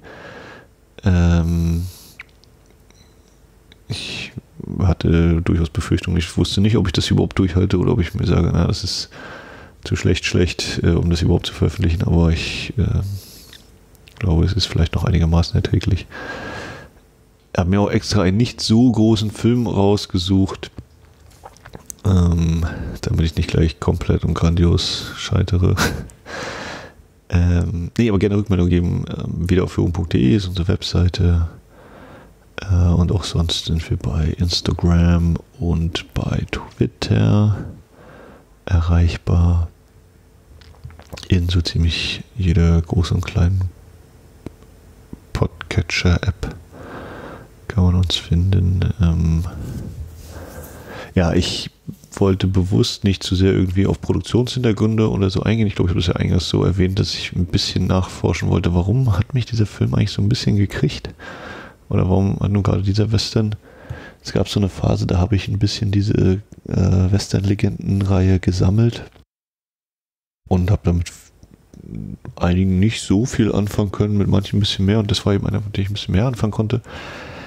Ähm, also ist der Fokus von dem, was ich hier so ein bisschen erzählt habe, oder vielleicht noch erzähle, eben eher darauf liegt, als hier groß irgendwie ganz tief in Hintergründe einzusteigen ohne ähnliches, da halte ich mich auch nicht für äh, belesen genug oder habe mich damit auch nicht so sehr mit beschäftigt vorab, dass ich da irgendwie den Anspruch daran anmelden wollen würde. Äh, ja. Und es ist ja derzeit auch so, ähm, Wiederaufführung war ja lange Jahre mit Christian zusammen und ähm, eigentlich jetzt Kali und ich, aber die verweilt noch andernorts, deswegen überlege ich eben so, ich hatte ja auch schon einen Solo-Podcast gemacht zu einem anderen Film, zu Tanz auf dem Vulkan vor ein paar Ausgaben, ähm, das in Anführungszeichen vielleicht auch ein bisschen abwechslungsreich zu gestalten. Ähm, ja, deswegen mal dieser Versuch eines äh, Audiokommentars. Wenn wir hier das nächste Gespräch sehen.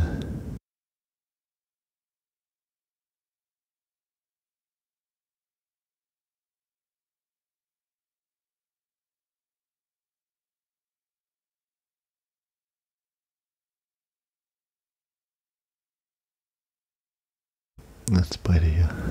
Viel mehr geht nicht. Innige Umarmung.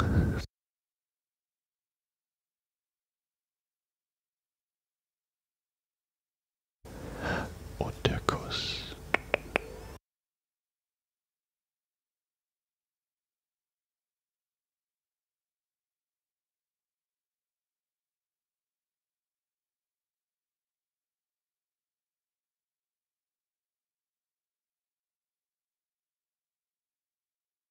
Und nun haben wir die natürliche Grenze erreicht und durchschreiten sie den Fluss. Auch hier nochmal so eine kleine nette, nette äh, Dialogzeile gleich. Ob denn nun die Grenze überschritten ist am anderen Ufer oder in der Mitte des Flusses. Ja, und so richtig weiß er es auch gar nicht, unser Sheriff.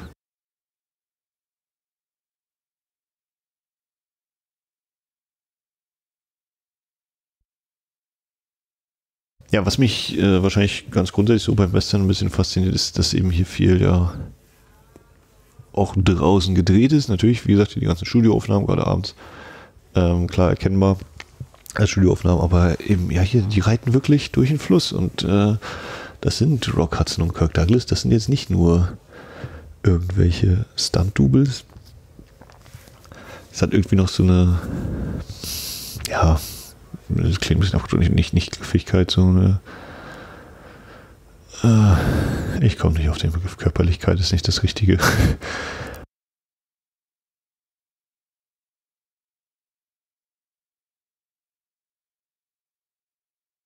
Aber es ist. Äh, also, die haben das halt echt gemacht, so unglaublich.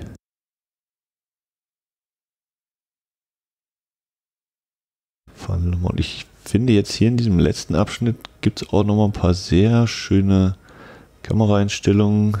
Kann man vielleicht noch überlegen, okay, ging das im Studio so in der Form vielleicht nicht ganz oder, oder hat man da nicht so die äh, Gegenstände, Mobiliar, Inventar gehabt, dass man das so konnte hier so, ist ja auch immer noch so ein bisschen die Rahmung durch die Bauwerke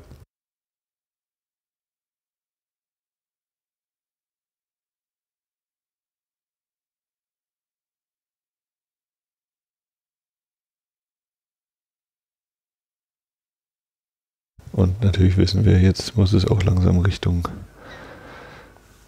äh, endgültige Entscheidungen gehen hier in den Beziehungen in diesem Film.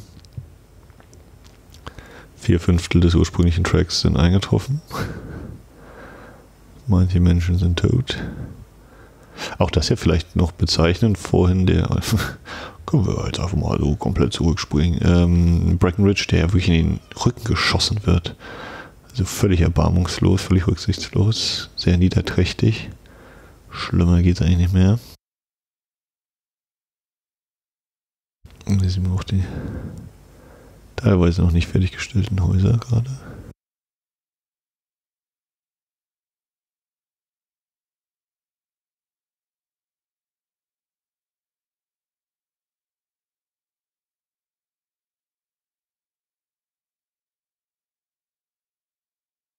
Ja, und Robert Aldridge, ich glaube, den ersten Film, den ich von ihm gesehen hatte, war The Grissom Gang. Ein Film, bei dem ich damals den Eindruck hatte, von, von 71 ist er, glaube ich, also zehn Jahre später, ähm, so, glaube ich, frei angelehnt an Mar Barker, Mar Baker. Ähm, ein Film, bei dem ich das Gefühl hatte, den ich einmal gesehen und als würde die, der ganze Film würde schwitzen. Also ich habe gedacht, als ich die DVD danach aus dem Player genommen habe, musste ich erstmal ein Handtuch holen, um den Player abzutrocknen und die Scheibe. Ähm, der hatte auch eine, hat auf mich zu dem Zeitpunkt viel Eindruck gemacht mit dieser Atmosphäre der, der Hitze, dieses, sie da alle ständig unter Druck standen durch das Wetter.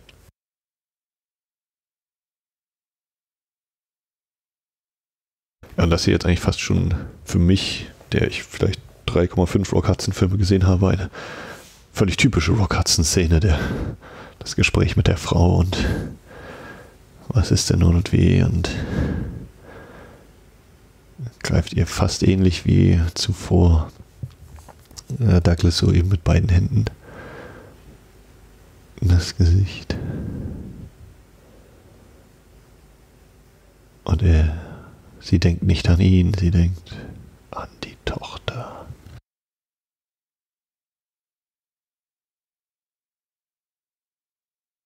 Dürfen auch die beiden sich mal küssen?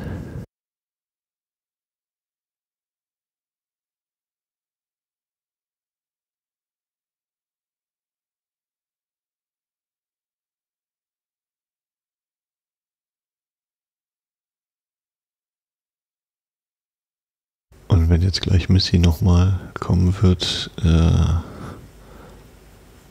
möchte ich auf jeden Fall nochmal namentlich erwähnen. Kostümgestaltung oder Kostüme Norma Koch. Jetzt habe ich das einfach wieder so gesagt. Der Hoffnung, dass ich mir den Namen richtig gemerkt habe. Doch, Norma Koch. Einmalige Oscar-Gewinnerin, hat äh, auch mehrfach mit Lord Aldrich zusammengearbeitet, Whatever Happened to Baby Jane, Hush Hush, Sweet Charlotte, wegen Lied für eine Leiche. Ähm, und sie hat für Whatever Happened to Baby Jane den Kostümdesign Oscar schwarz-weiß bekommen. Kurz nach diesem Film hier. Und war dann für wegen Lied für eine Leiche auch nochmal nominiert. Norma Koch. Ähm, also die normalen Kleidungen hier sind jetzt natürlich auch nicht verkehrt. Ich kann es sowieso behaupten, weil ich eh nicht schneidern könnte. Aber wenn jetzt gleich, wie gesagt, hier Missy nochmal auftaucht, Davor haben wir aber dieses letzte Gespräch zwischen O'Malley und seiner früheren großen Liebe. Und äh, dann greife ich natürlich auch schon auf das Ergebnis des Duells vor, aber ähm, das deutet der Film ja auch an, ähm, wie denn hier nun diese Beziehung zu Ende geht, in Anführungszeichen.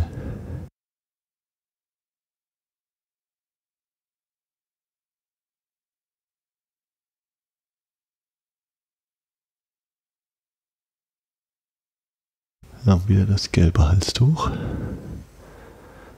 zum Abschluss.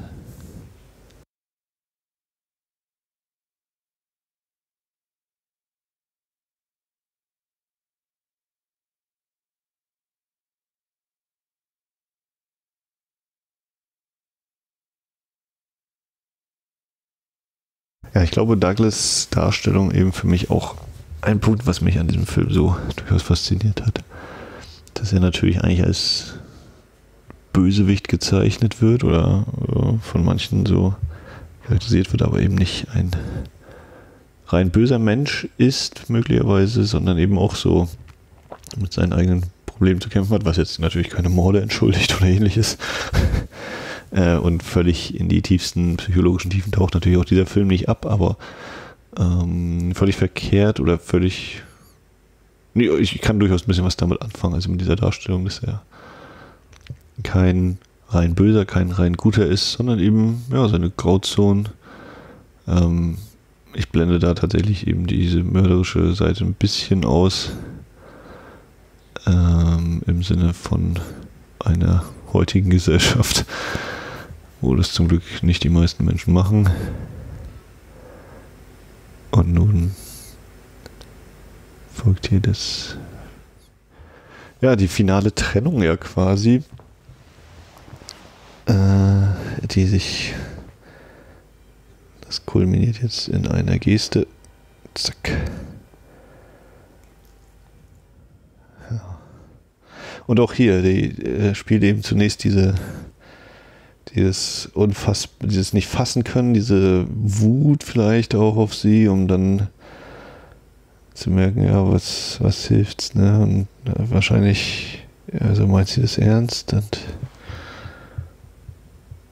eröffnet vielleicht auch in der, in dem Zusammenhang ja nochmal für ihn, äh, der das offensichtlich nicht wusste, also der äh, ganz klar Sex mit ihr gehabt haben muss, wenn wir jetzt davon ausgehen, dass sie die Wahrheit sagt und dass es seine Tochter ist, ähm, dass er dann nach dieser Ohrfeige in diesem Anfall äh, der Wut dann vielleicht doch auch feststellt, äh, ja, was er da wirklich alles eben haben, gehabt, gehabt haben könnte. Was er da alles äh, quasi nicht unbedingt weggeworfen hat, aber wovor er, wovon er weggegangen ist.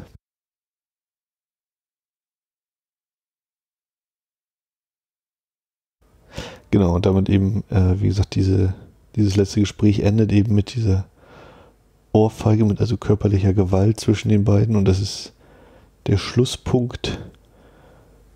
Äh, also der, der endgültige Schlusspunkt eben überhaupt für diese. Dann besteht keinerlei Hoffnung mehr.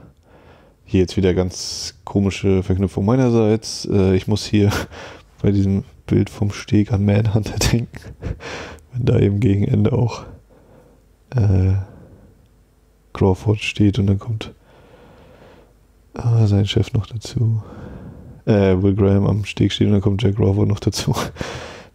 äh, und ich kann auch einfach behaupten, Michael Mann hat diesen Film gesehen und sich das davon inspirieren lassen. Und Norma Koch hatte ich erwähnt, eben wegen dieses sehr schönen Kleides, wollte ich das nochmal ihren Namen erwähnt haben. Und äh, das mache ich jetzt nicht nur wegen des relativ großen Dekolletés, sondern ist ja auch ein sehr schönes Muster und alles. Schöne Verzierung.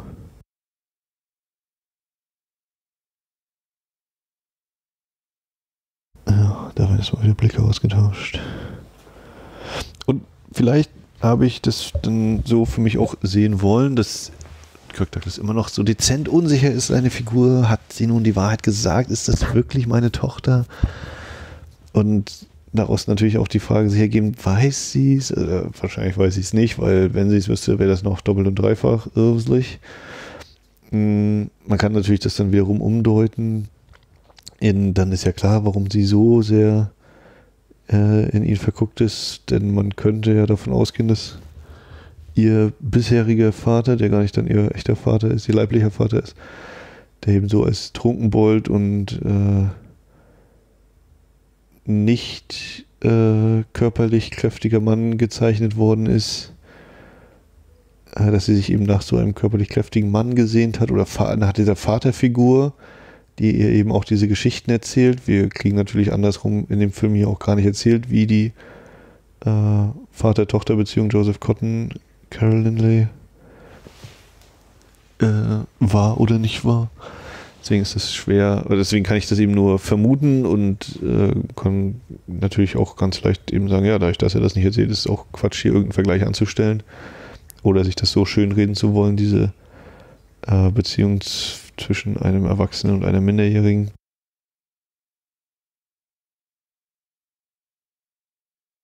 Aber ich bleibe ja noch dabei. äh, ja auch hier kurz nochmal irgendwie so ein, ein ähm, ja fast nicht Ort mit diesem grünen Gras und plötzlich sind überall Bäume, nachdem uns die, die Grenzstadt ja eher staubig präsentiert wurde. Hm. Also zumindest diese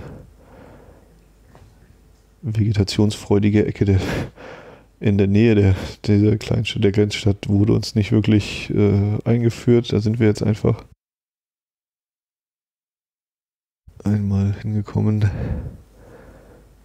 Und auch hier folgt jetzt nochmal ein ja, Irritationsmoment, bei dem ich jeden verstehen konnte, der sagt, äh, das ist aber jetzt nicht sehr überzeugend, wenn es jetzt darum geht, um den titelgebenden Last Sunset.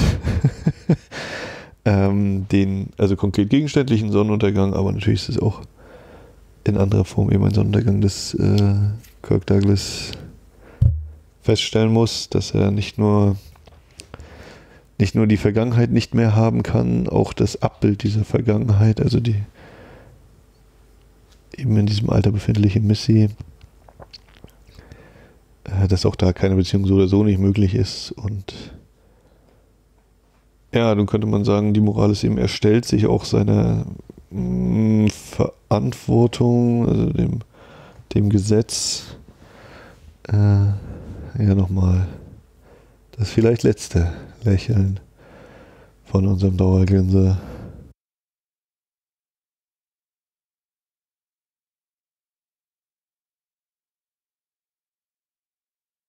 Der letztes Jahr, 2020, mit 103 Jahren verstorben ist. Er hat ja wirklich alle Generationen hier sozusagen mitgemacht.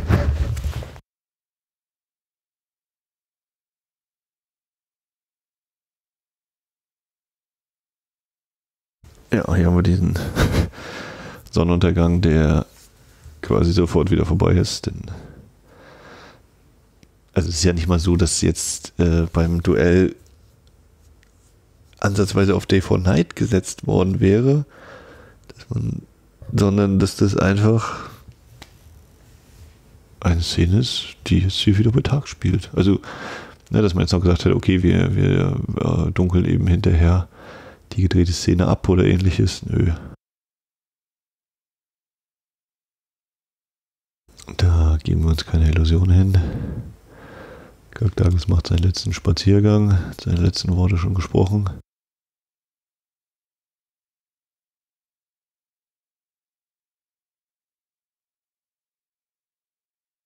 Kommt hier aus der Natur, auch als Gegensatz vielleicht nochmal zu dem aus dieser Grenzstadt kommenden, wo gleich nochmal diese gelbe Kutsche mit den roten Rädern lang gefahren ist, zweimal sehr kurz hintereinander und in unterschiedliche Richtungen.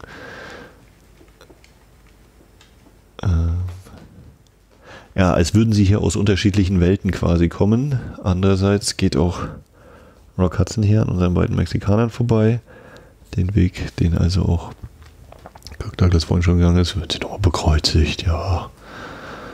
Da wird nochmal ganz groß aufgefahren.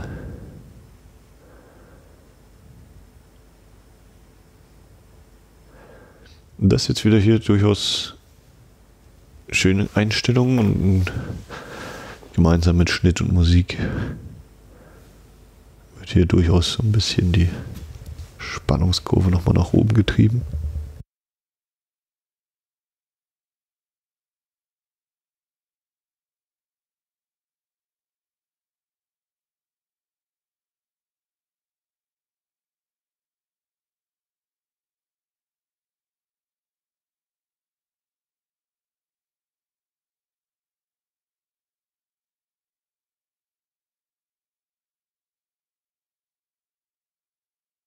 Da werden nicht mal mehr Wetten abgeschlossen.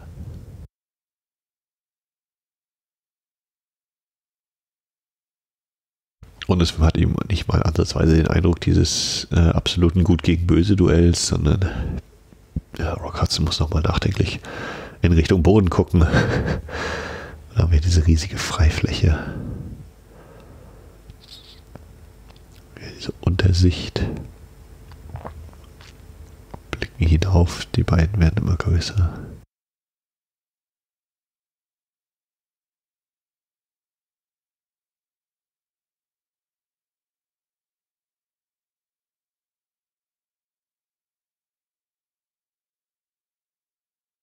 Die Ruhe vor dem kurzen Sturm ging also auch nochmal hier eben dieser Spannungsaufbau.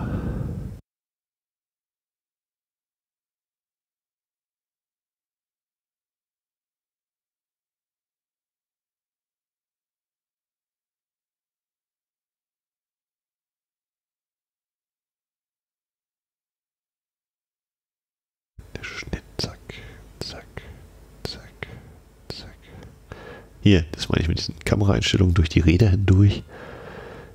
Sie laufen und dann hier, als würden sie auf den Schienen gehen und müssten zusammenstoßen.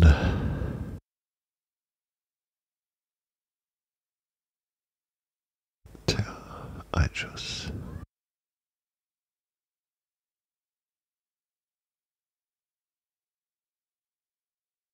Es wird relativ lange geheim gehalten, wer da nun am Boden liegt.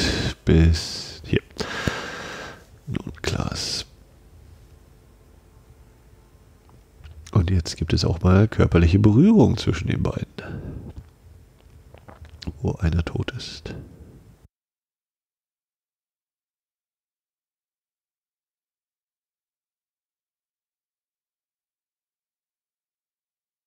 man ahnt es schon als halbwegs geübter Schauer von Filmen.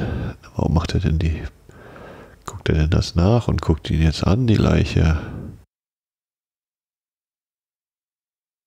Etwas, was wahrscheinlich auch ohne Dialog für einen Großteil funktioniert hätte, aber wir müssen immer gesagt bekommen.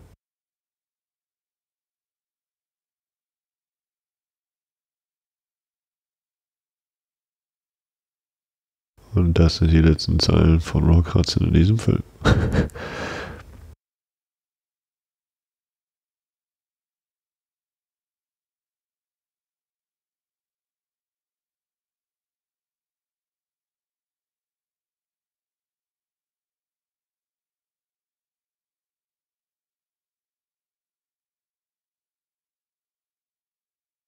Ja. Und Missy kriegt hier nochmal ihren großen Guckdarstellungsmoment. Ich sage schon mal vielen Dank für alle, die bis hierhin durchgehalten haben. Wie gesagt, gerne Rückmeldung geben, was nicht so gefallen hat, vor allem, falls was gefallen hat. Hier auch nochmal ein schöner Kameramoment. Und das hier auch noch ein sehr gut komponiertes Schlussbild im Vordergrund, so von unten nach oben. Die Figuren ähm, Rückmeldung geben gerne, ob das hier ein gescheitertes Experiment ist, ob das uns so halbwegs annehmbar okay war, äh, ob weitere Audiokommentare gewünscht sind. Oder, oder, oder. Und wir kriegen natürlich noch den bildlichen Abschluss. Auch das leider mit dem Dialog noch erzählt, was es denn für Blumen sind. Dabei wissen wir doch, es müssen natürlich genau die Blumen sein, mit denen man das Kleid nähen konnte oder wiederhergestellt hatte damals. Ja, vielen Dank fürs Zuhören bis zu dieser Stelle. Ähm